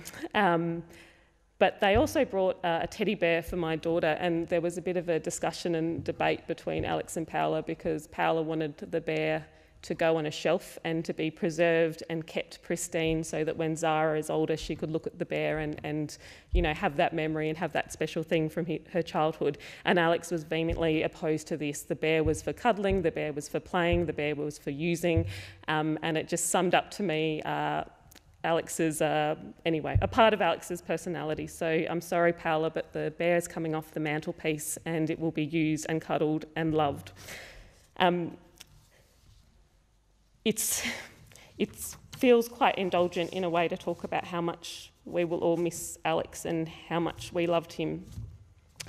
Because, of course, those who miss him will be those who, who missed him the most and will miss him the most are his family, those that he loved the most and who love him the most. His wife, Paola, his children, Ian, Caroline, Terry, and Frank, his children in law, Sinead, Ian's wife, and Tammy, Terry's partner, his grandchildren, Connor, Lachlan, and Mia. I want to thank you for sharing the man that you loved with this place for so long. It's never without sacrifice. And his achievements, his legacy belong to you and your family as well. I hope you are so proud of what your husband, what your father, what your grandfather achieved here. I hope you're so proud of the words that are being spoken about him. We should never be one dimensional or simplistic in our assessment of people who choose to do this role. Alex was a complicated and complex character, but he was a great man. He was a fiercely intelligent man. He worked tirelessly in this place for the values that he held dear. You really, I hope you you are so proud of his achievement. We are all so proud of his achievements. I know you will all continue to carry Alex's memory in your hearts, and I want you to know that his colleagues here in the Senate from all sides of politics will continue to carry that memory too. And we will also continue on with the work which meant so much to Alex. Rest in peace, Alex, friend, Senator. You will be so missed. Senator Sheldon. Good, thank you very much, President. Um, I just want to, I, I get, one of the things that um, struck me when I was thinking about what to say about Alex is the first comments. I've known Alex for 25 years, and not long after I arrived here, the number of people that came up and said, he's tough and he's gruff and he's pretty damn hard to get on with sometimes. I said, well, he's my mate. I find him exactly the same way, so don't feel special. It's just the way he is. A guy who's passionate and strongly believes in what he believes. And also, you know, just so many other speakers said about he did listen, but he also turned around and mentored people. And I appreciate a great deal of assistance that Alex was always available to have a chat with, um, no matter what the time of day or, or what, he, what he had on. But also, I, I think that I, I, went to many, many years ago to a, to a, a funeral. It was quite a, quite a revelation for me. It was uh, a Maori funeral, and a lot of people got up and spoke about, from their heart about what they felt about the fellow who just died. And they also got up and said things that were nasty about him, which I thought that was quite surprising. but they had a, I was, I was chatting to uh, a number of those that spoke and, and uh, family members. They said, no, it's really important. You have to really, you know, let the spirit um, be released. Um, and if you don't, if you're not honest and you're not frank, then you're not going to get um, the spirit released. And Alex, um, we're all going to be very frank. And I think one of the things that, um, when I think of that again, is that we had a just a it wasn't an exclusive group, it was just a group of TWU people that got together and, and uh, some the TWU senators. And uh, we had a, had a wake for Alex, and a number of people explained some of their experiences with Alex. Um, how he worked, how they worked with him in the entire in the transport industry, and how um, you know, the sorts of differences that he made. And I'll get to those in a moment. But I just want to say that you know, if you look at some of the statements that Alex said when he first came into this place, uh, his first speech, you know, he said, there is no smoke and mirrors, just plain talking, hard-working employees and employers alike when talking about the transport industry. They all share common attributes, that is, capacity for hard work and a selfless dedication to the task at hand. Now, that can also be a very fine description of Alex, because that's who the man was.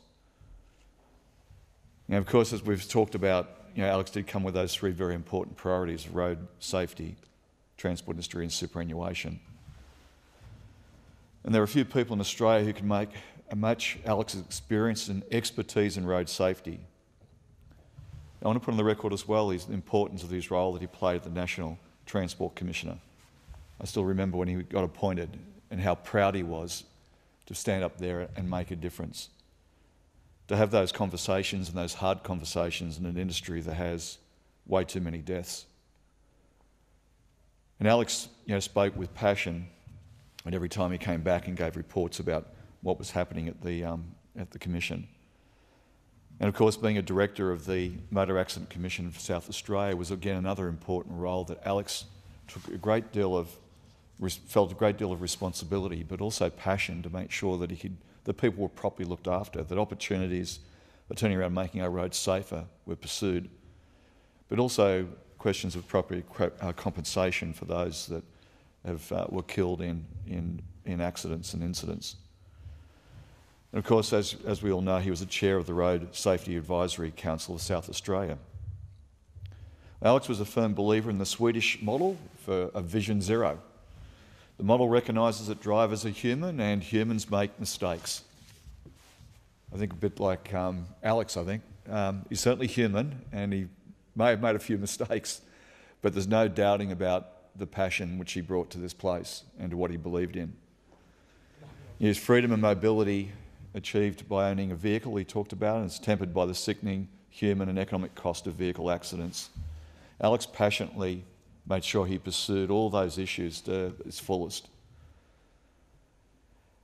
Alex played an important role, of course, and has been mentioned in the Gillard government establishing the Road Safety Remuneration Tribunal in 2012.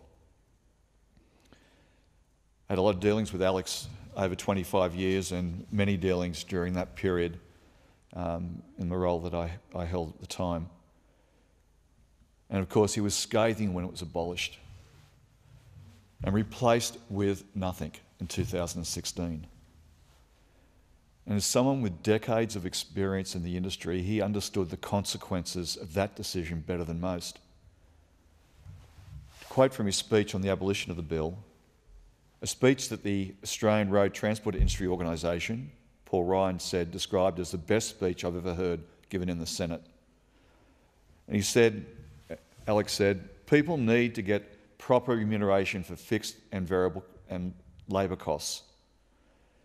Lots of these owner drivers will work themselves to death. I know the things that they go through on a daily basis. I know all about visiting families who have had people in their families not come home from work. This was for me a once in a lifetime opportunity to see some sanity, some fairness, and some real reward for that effort. And Alex was spot on and straight to the point. And that's how he always operated. And, you know, in, again on that, um, at the uh, Wake, um, uh, Zoom, Wake Zoom, um, Michael Kaine, the National Secretary of the TWU, I think summed up a really incredibly important point about Alex. He said he would take the problem in front of him, distill it into a bite sized grab, and then figure out how to use the bite sized grab to fight for the rights of working people.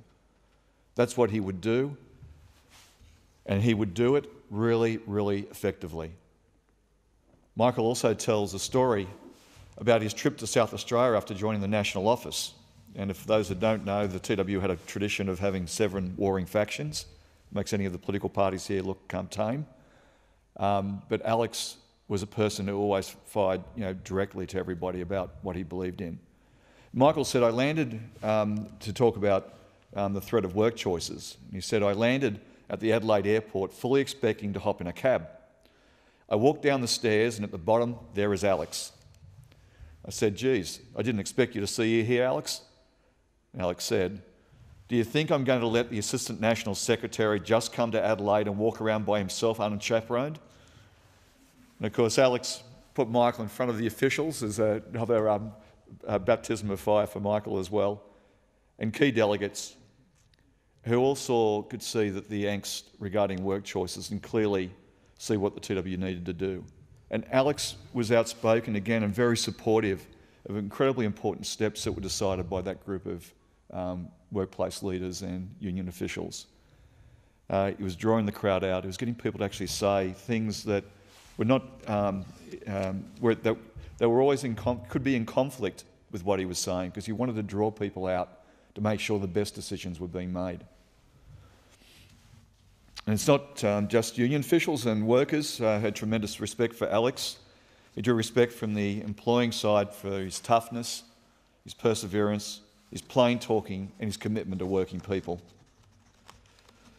During the, um, during the Zoom wake, Steve Schofield, who used to be the head of the industrial relations at Qantas, and butted heads with Alex on a number of occasions.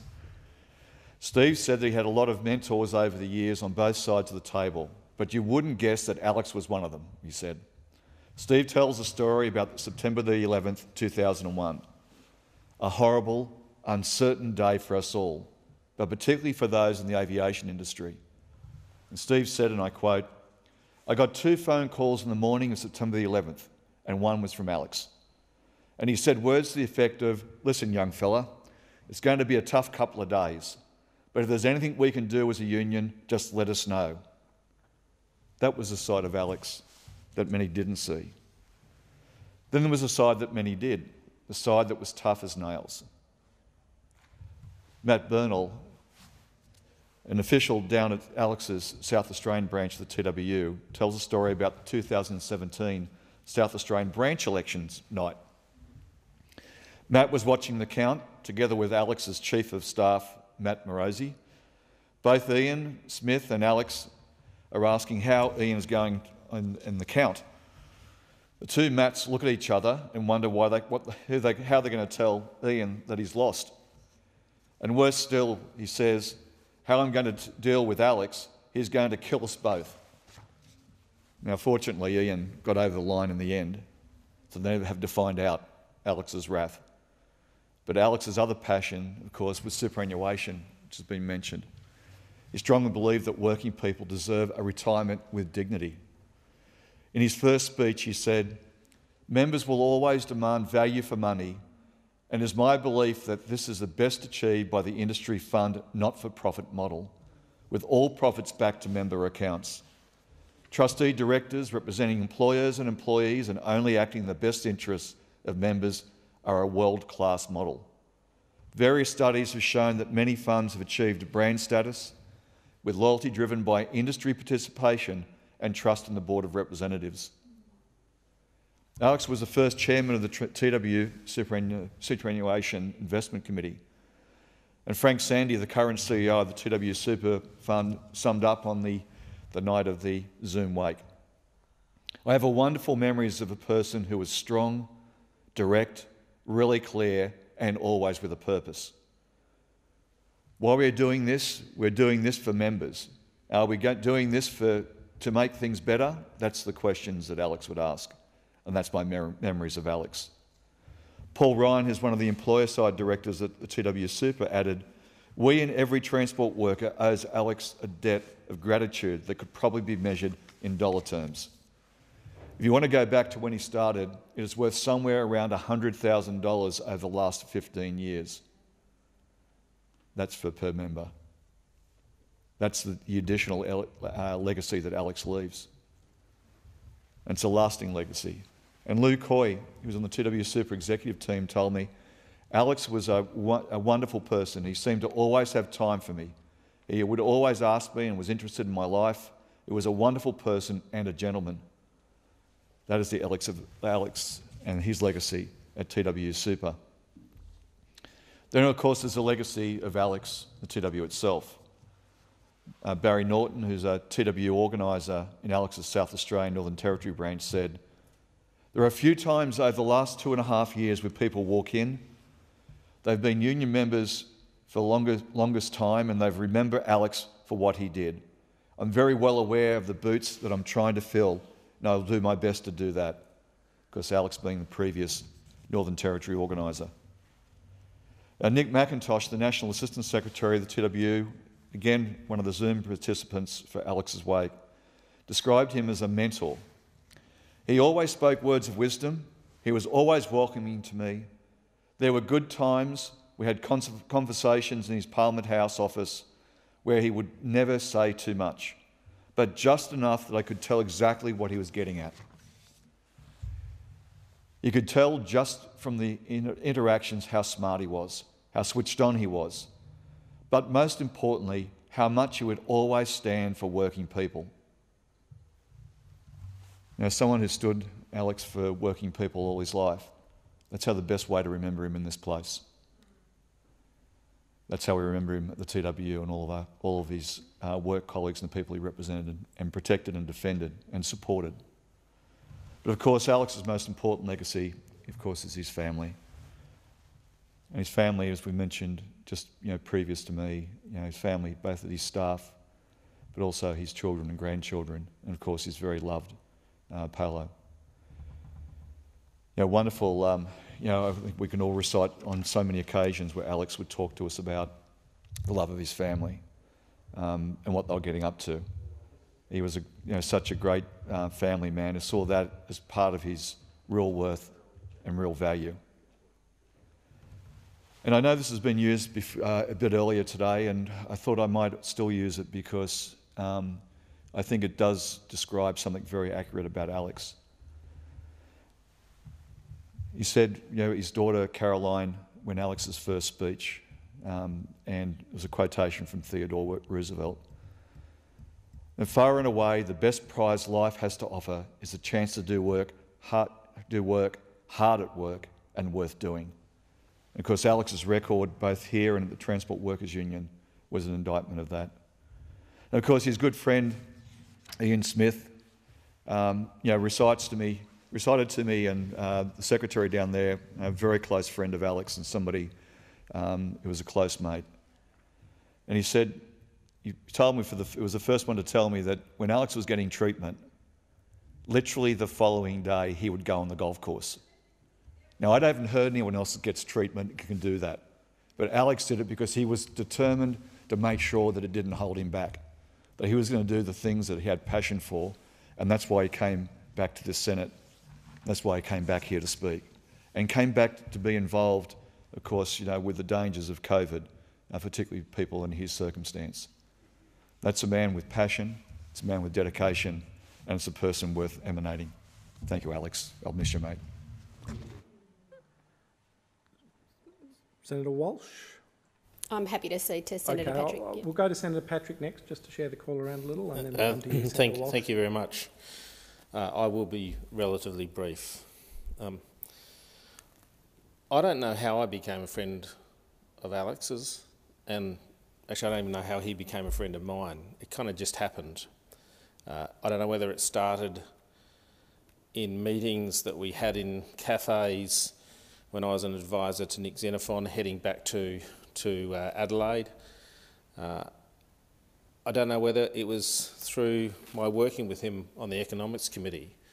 And I know people did talk to, uh, uh, have been talking about his passion for road safety, but uh, there were also other things he had passions for, passion for, including naval shipbuilding. He was very concerned about uh, workers down in Adelaide, uh, and um, I'm just sad he didn't get to see uh, that particular committee through. But, but what I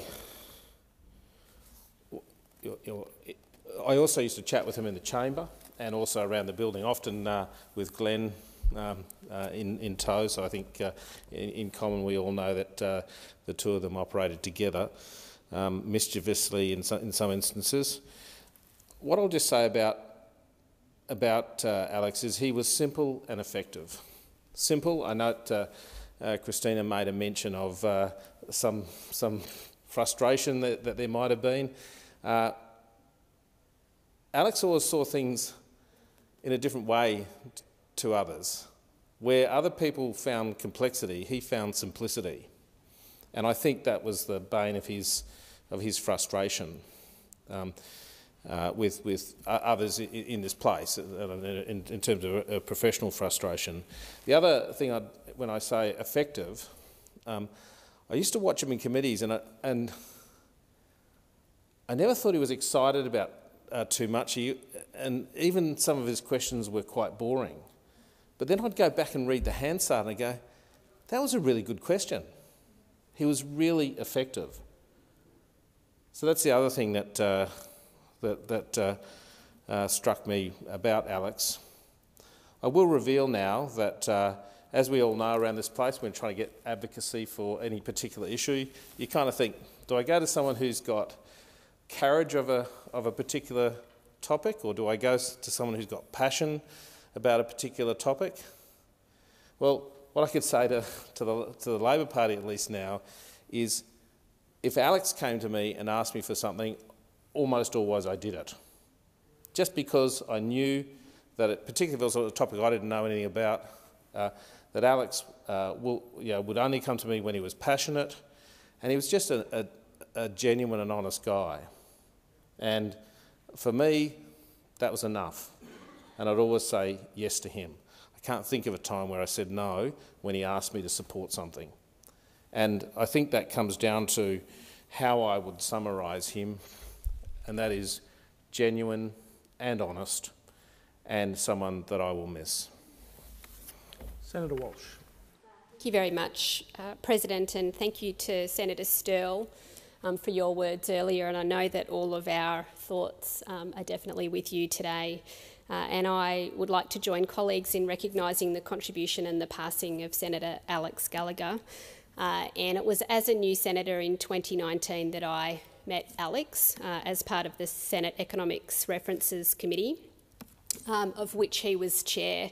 Uh, and so my reflections uh, on Alex come from my experiences entering this place just two years before Alex's time here came to an end. Uh, so I have a few memories of Alex that I'd like to, to share with the chamber uh, and with Alex's loved ones who may be listening um, or reading the speeches later on that are given in his honour today. And they are memories of someone who combined complete dedication and commitment to the people he came here to represent um, with an absolute unique larrikinism and irreverence. Uh, and one of my first experiences of Alex's particular brand of irreverence was doing Senate hearings uh, together during um, lockdowns in 2020. Uh, and hearings were, of course, conducted remotely um, with senators and witnesses participating um, online. Uh, and at one such hearing, Alex appeared uh, in a peaked cap, um, headphones on, uh, with a very impressive bookshelf in the background uh, against the wall behind him, and so far so good. Uh, impressive bookshelves were a feature of remote meetings and hearings in 2020. Um, but Alex, of course, went one better, uh, and he had a large automobile in the background as well. Uh, and I heard a voice um, online over the feed of either a witness or secretariat asking in the background, Is that a senator?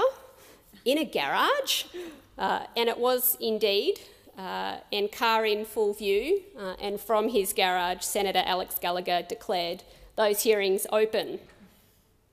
Uh, and on that day, and really every day, Alex approached his work here with a completely like completely unpretentious disposition, um, sprinkled with a fair amount of an up yours attitude. Um, he had an attitude of good humour alongside the hard work, commitment, and dedication that he showed for the people he represented. Uh, and uh, I have similar recollections to those of Senator Patrick's um, of being uh, spending many a late night at Senate estimates um, in uh, Economics Committee hearings um, with Senator Gallacher. Uh, and as a new senator for me, the Labor question pack, of course, was something, was something of um, a lifeline uh, to, to keep your head above water and stay afloat. Um, for Alex, uh, it was more of a guide uh, at best. Um, and occasionally it was something to flick through whilst leaning back in his chair, um, getting ready for the next witness, much as one might casually flick through a magazine at the supermarket counter before proceeding to check out, leaving the magazine behind. Um, as has been noted, Alex relied instead um, on his own preparation, uh, and he was the same here in the chamber. Um, when Alex spoke in the Senate, he usually did so um, without notes, prosecuting his points admirably um, and always with um, passion passion for the workers that he proudly came here to represent uh, and who he never left behind. Uh, and I do think this is what Alex's colleagues will remember the most. He really never forgot where he came from. He never forgot who he went into Parliament to fight for. He never stopped being that union organiser on the hustings, representing people working hard in an essential industry, doing the long hauls overnight, um, while the rest of us sleep. Uh, and it was indeed in this chamber in my first few weeks here that Alex came uh, and sat down next to me with a clipboard. Uh, and as a former union organiser myself, I knew I was about to be signed up for something. Uh, and for some weeks, I had worn it as a badge of honour that I had not signed up to um, many of the various, to any of the various um, parliamentary friends groups on offer in the early weeks um, of a new parliament. I'd let them all um, fly by in my emails. Uh, but then Alex sat down next to me that day with a pen and a piece of paper uh, and looked me straight in the eye. Uh, and so to this day, I am a card carrying member of his beloved parliamentary friends of road safety. Um, to the end, Alex was always on the side of working people, his people. Uh, and I was one of uh, many of Alex's colleagues who joined online to pay uh, my respects uh, at his funeral um, remotely. Uh, and as a proud life member of my own union, I was deeply moved to see that Alex was making his final journey under the protection of the flag of his union, the Transport Workers Union. A life spent standing up for working people is indeed a life well lived. A life spent as part of the collective of the labour movement is a life of service to others. Uh, and for that life of service, um, I pay my respects to Alex today and extend my condolences to his family, his friends, and his union, and again to his best mate, Glenn Sterle. Thank you, President. Senator Colbeck. President, uh, and I would like to associate myself with remarks from all colleagues across the chamber in relation to the tributes they're paying to the life of Senator Alex Gallacher. Uh, he was somebody who was without question true to his beliefs and his values, and they were true Labor values, they were true union beliefs. Um, and as Senator Sheldon said, that's what he was respected for, and he was respected for that across the chamber. Um, I won't share some of my stories about him in a personal sense because they were personal conversations. But they were conversations of fellowship of fellow senators um, and particular circumstances at the time. Uh, and it was, they were very human interactions. And they were the things that I really valued about um, working with Alex. We shared again some late nights, both on the same side of the table at estimates and uh, on the opposite sides of the table at estimates. And if Alex thought that you were serving up a load of BS, there was absolutely no question that you were going to be told that you were serving up a load of BS, or the officials for that matter, and he just wanted an answer to his question. Um, it, was, it was pretty simple. So with Alex, you knew what you were going to get. Uh, he, was, he was just dead set straight. Uh, you knew where he was coming from, you knew why he was coming from there, and the comments that have been made by so many colleagues across the chamber about uh, the fact that he didn't forget where he came from and he didn't change. He was Alex Gallacher, who became a senator through his time as a member in the union movement, and he brought all of those practical elements and experience with him to this place, and he applied those to policy. And he was a thinker. He really was.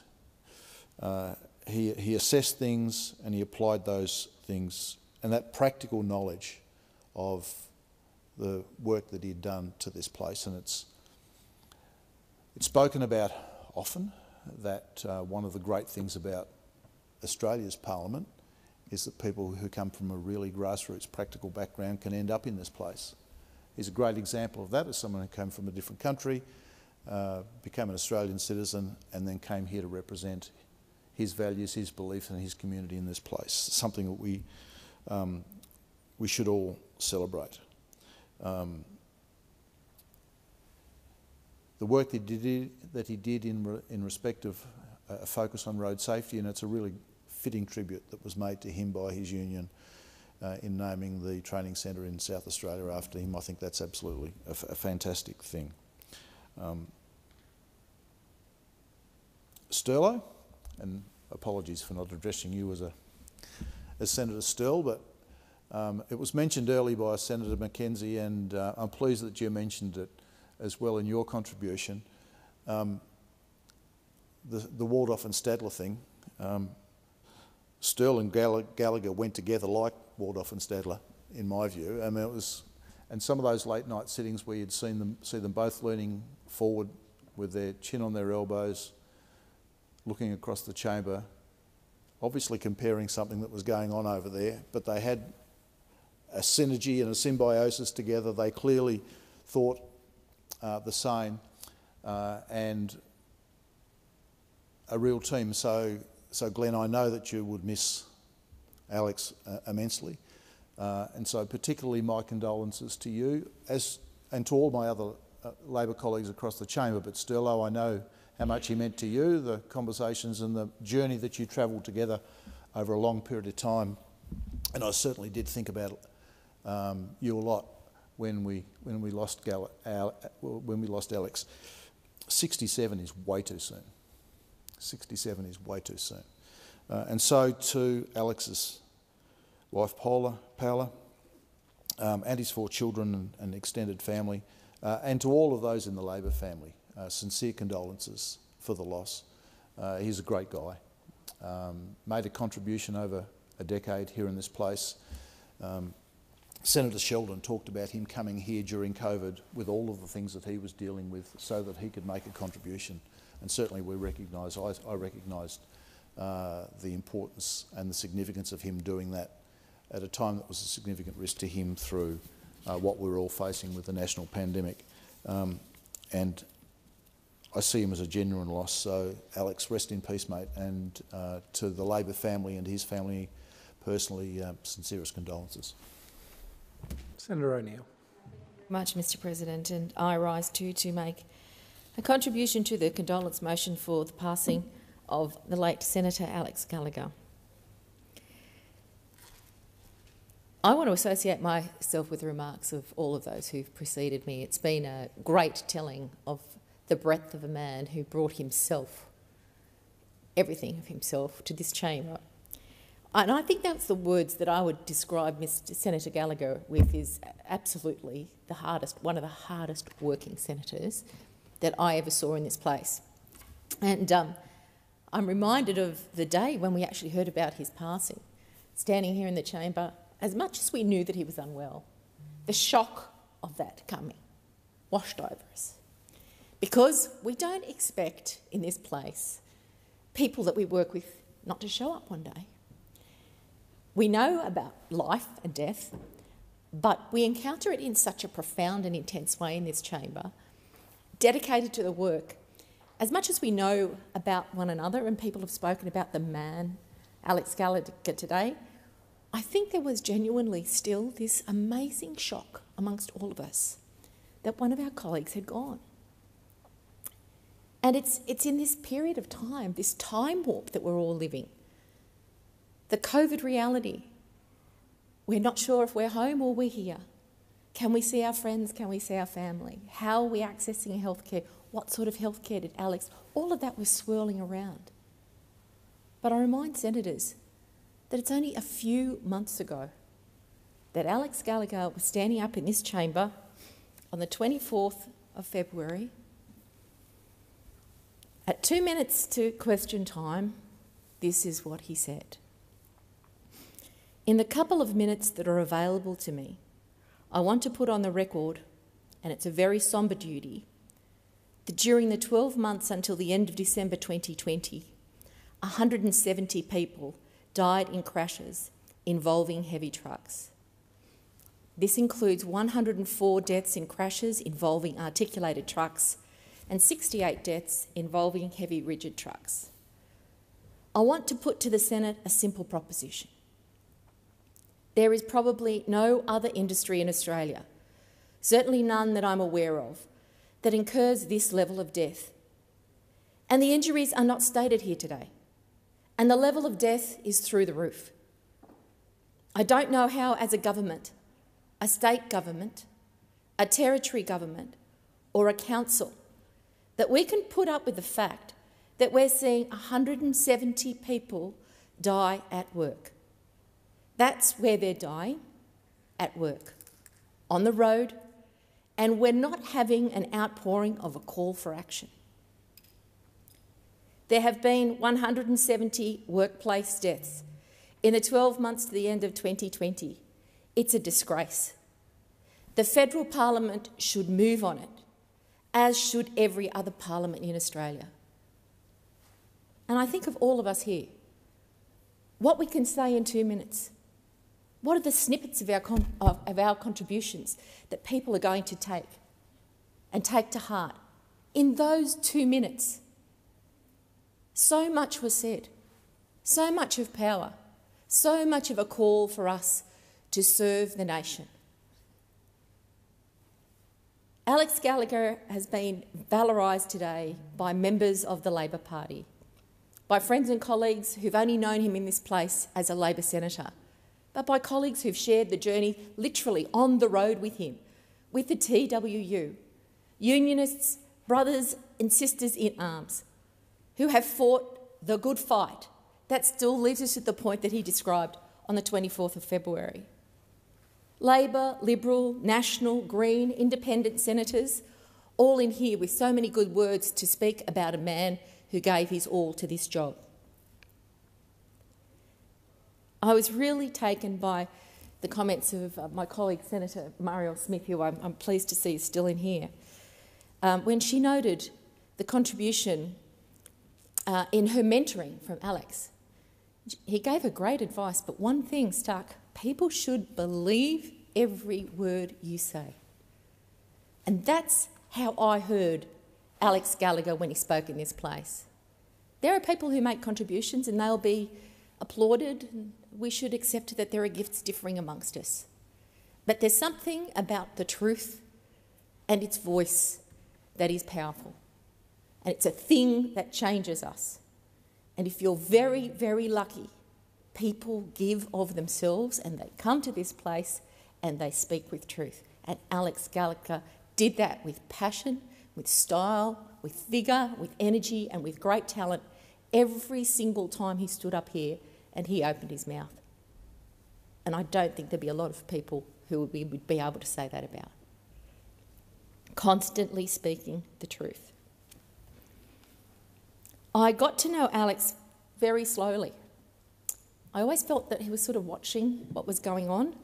And today, when uh, Senator Sterle, you, you read the words of Matthew Morozzi, and um, Matthew said he warmed to me, I guess I'd, I'd have to say that's a kind of a similar experience that I had.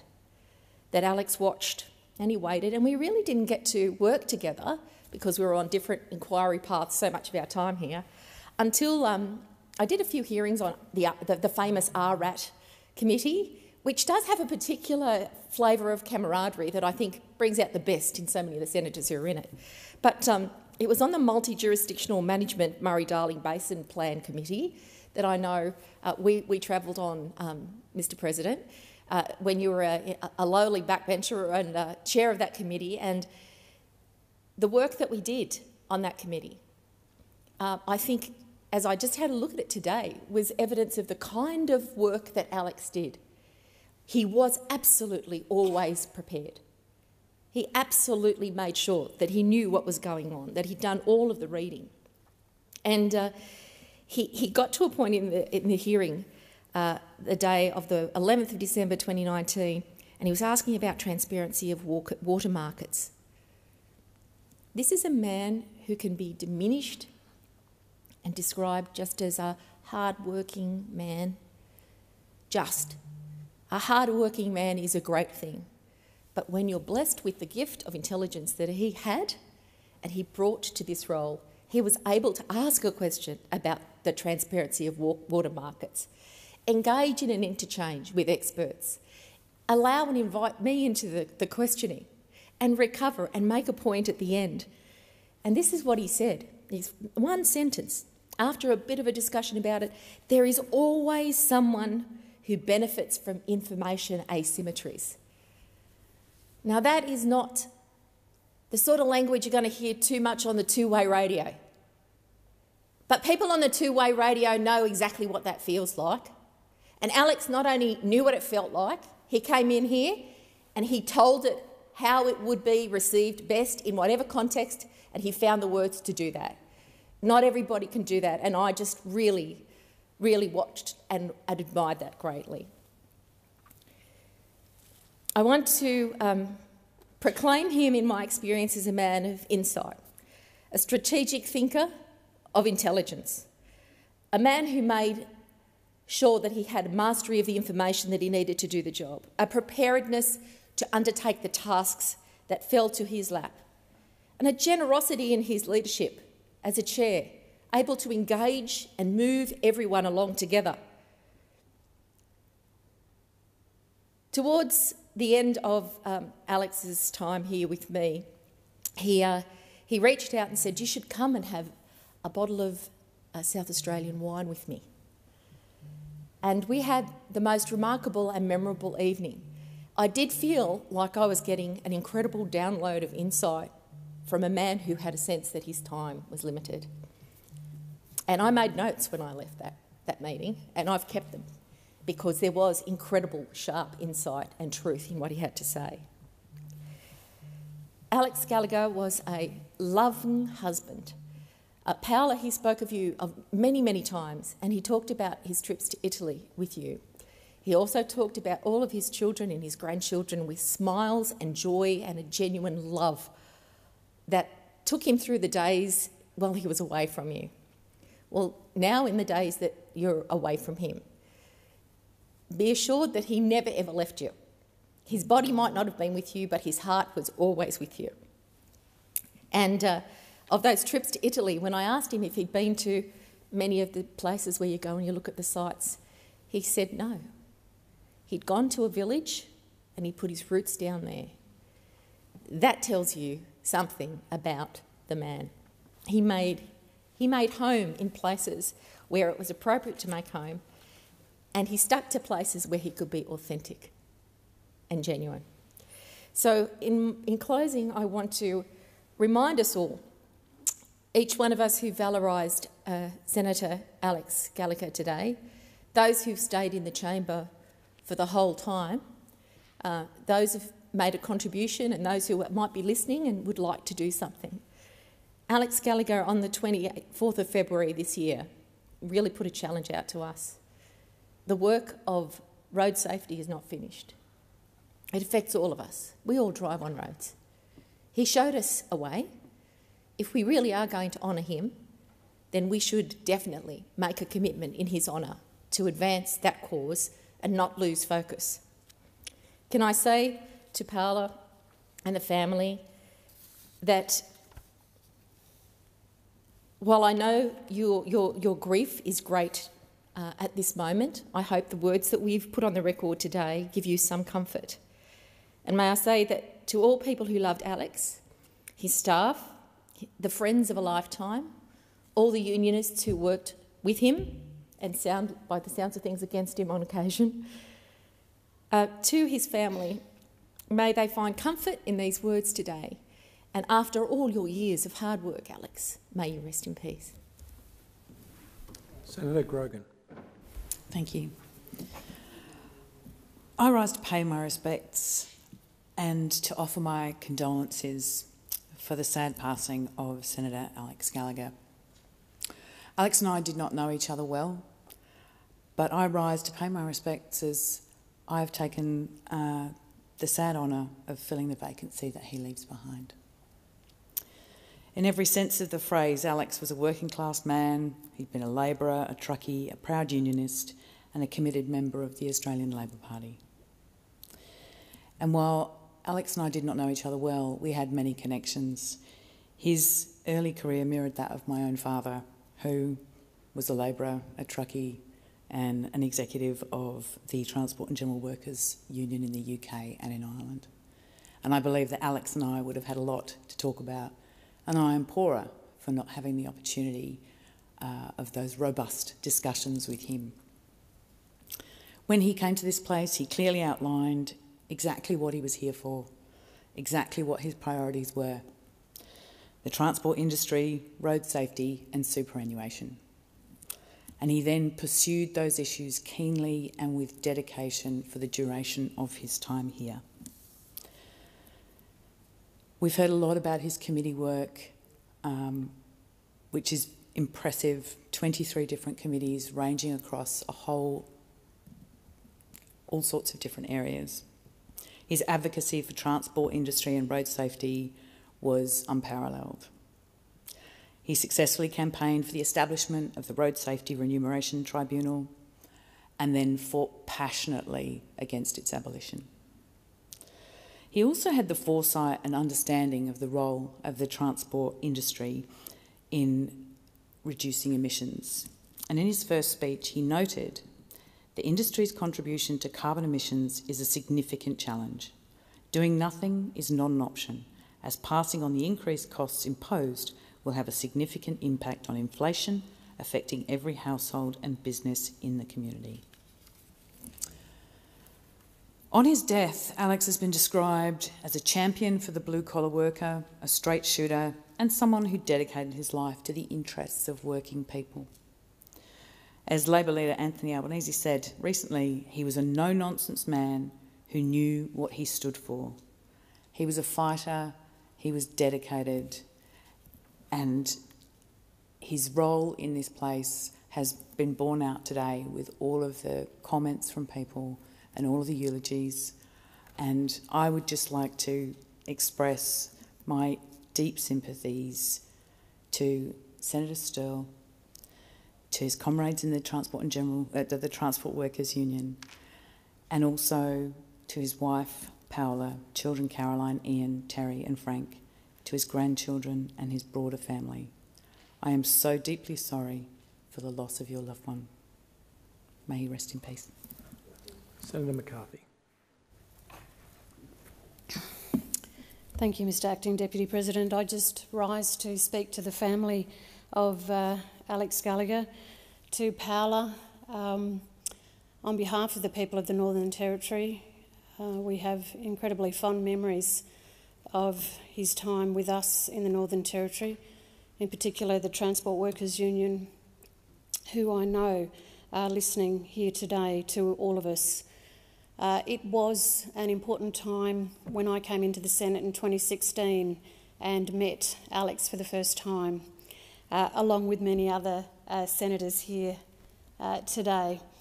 But I wanted to share with you, Paola, to you and your children and grandchildren, uh, some pretty personal moments, uh, in particular with my role here in the Senate, and I've heard uh, my colleagues speak of uh, so many things of Alex, but one of the things that stays with me is his mentoring.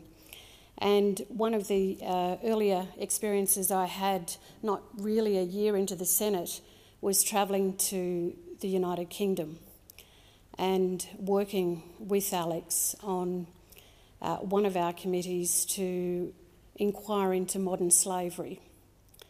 And it was my first time to the United Kingdom, and I was, uh, I was a little bit nervous about going over to where Captain Cook came from. I wasn't quite sure what to think. And um, I don't think I could have travelled with a better, better colleague.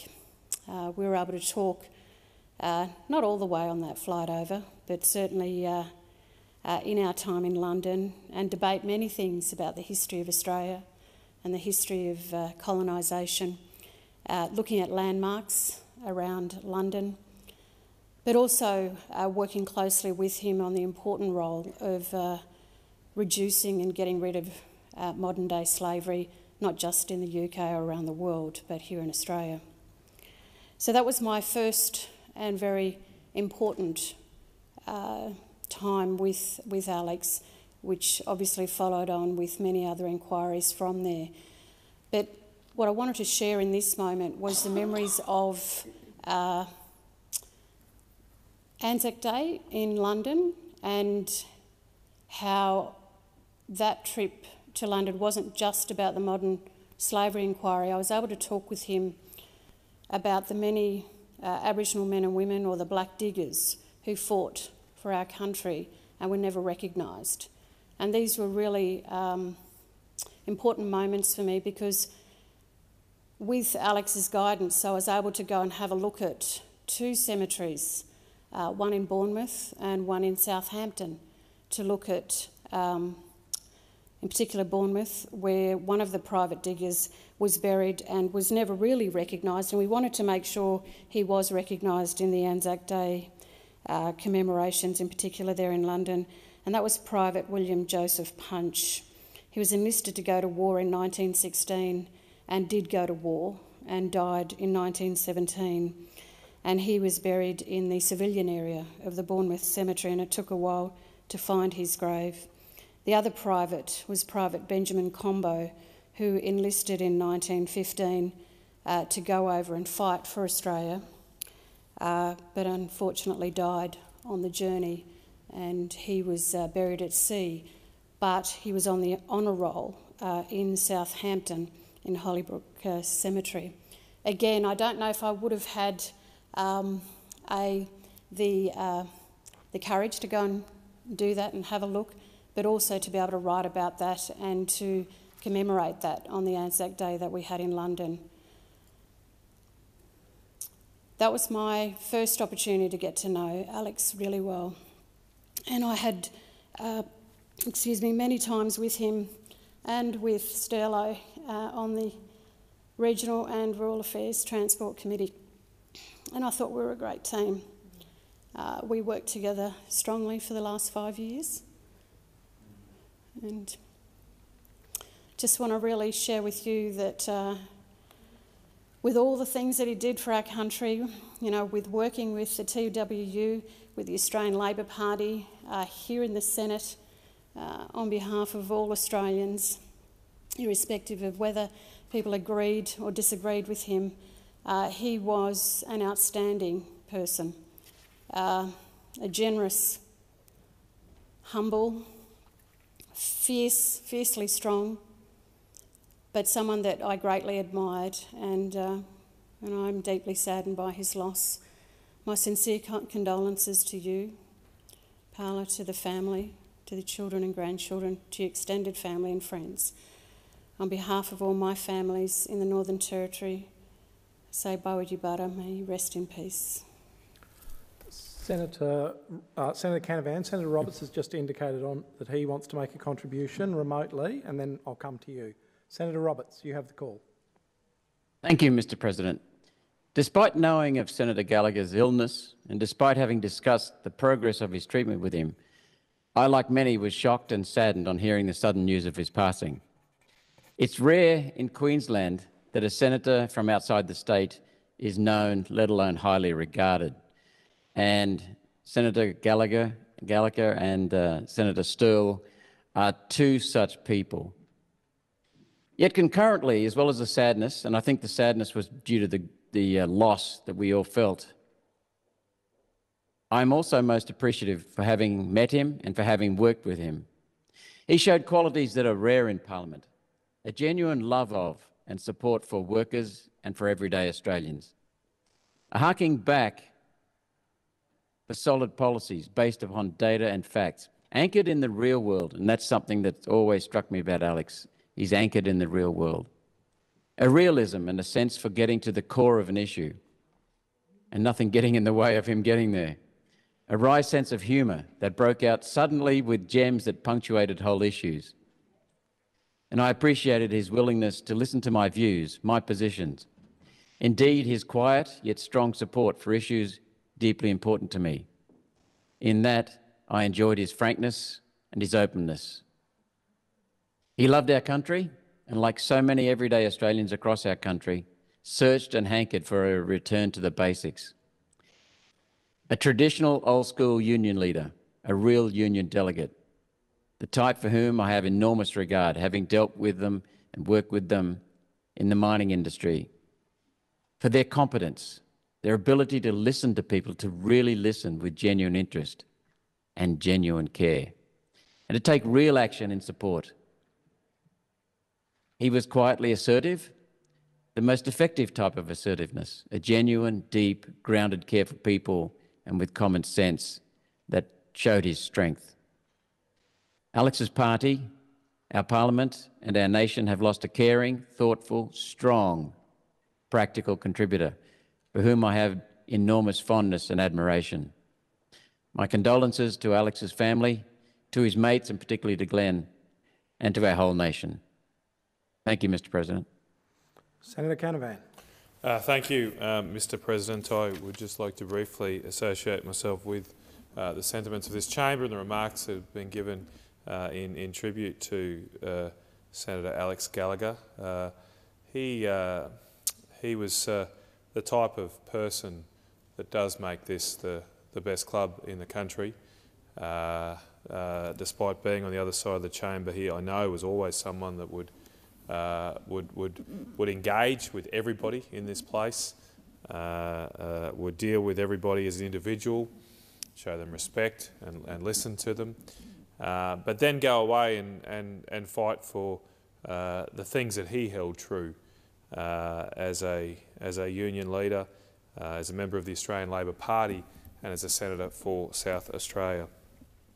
I hope, I hope that um, Senator Gallacher's passing uh, doesn't let us lose something from this place too. It's, it's, it's, it's sometimes I, I think that the senators like him aren't made anymore, but hopefully that's not the case. Uh, uh, uh, he, he, he represented uh, something that is, that is great about our nation, uh, uh, a down-to-earth uh, spirit, uh, a, a love of uh, egalitarian and fair go culture that we're about, and, and a real defence of honest, hard-working men and women of, of this country.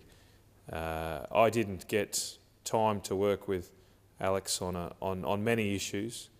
Uh, I just note that uh, today we're, we're, we're, we're, paying tribute to Senator Gallacher on the same day that uh, the next step has been taken on the radioactive waste uh, journey. I, uh, that was one issue I dealt with Alex a little bit on, and I really respected his, his uh, no-nonsense attitude to issues like that, where he saw that there was the interest in the advancement of this country to support.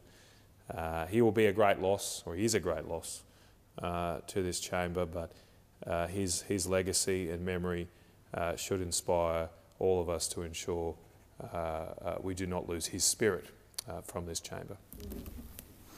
Senator Urquhart. Thank you, Mr President. Um, I seek leave to in, have incorporated into Hansard the speeches from Senators Carr, Senator Carol Brown and Senator um, Katrina Bilyk. There being no objection, leave is granted. Uh, I wish to also add just a few short remarks uh, to this condolence motion. Uh, Senator Gallacher's journey and I, as, as Senator Sterle said, um, paralleled each other for a little while. Um, we served on a number of committees together, the, the Murray-Darling Committee, uh, uh, uh, but most particularly the Economics Committee, where he was my deputy chair on the legislation committee and I was his deputy chair on the references committee. And I, I will, I didn't know Senator Gallacher well. We, we had met on the rural and regional committee, but uh, we probably spent a lot of time together on the economics committee in that first six months, uh, uh, the, the, the, second half of 2019. And uh, we were down in Traralgon in Victoria and We'd had the long drive out and a day's hearings where we heard of the many serious problems faced by that region. Uh, and the committee hearing ended and Alex disappeared.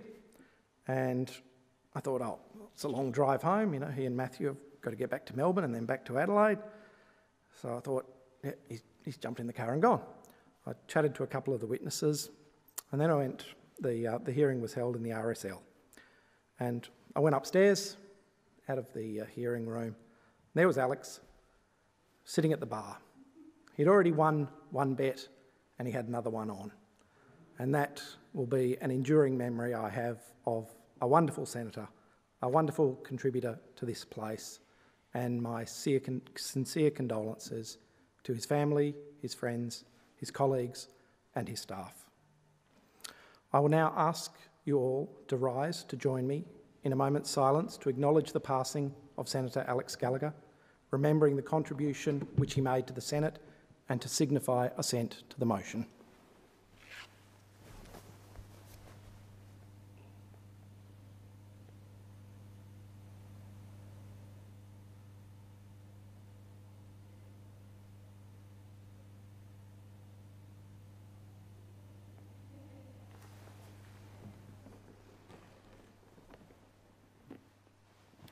Minister.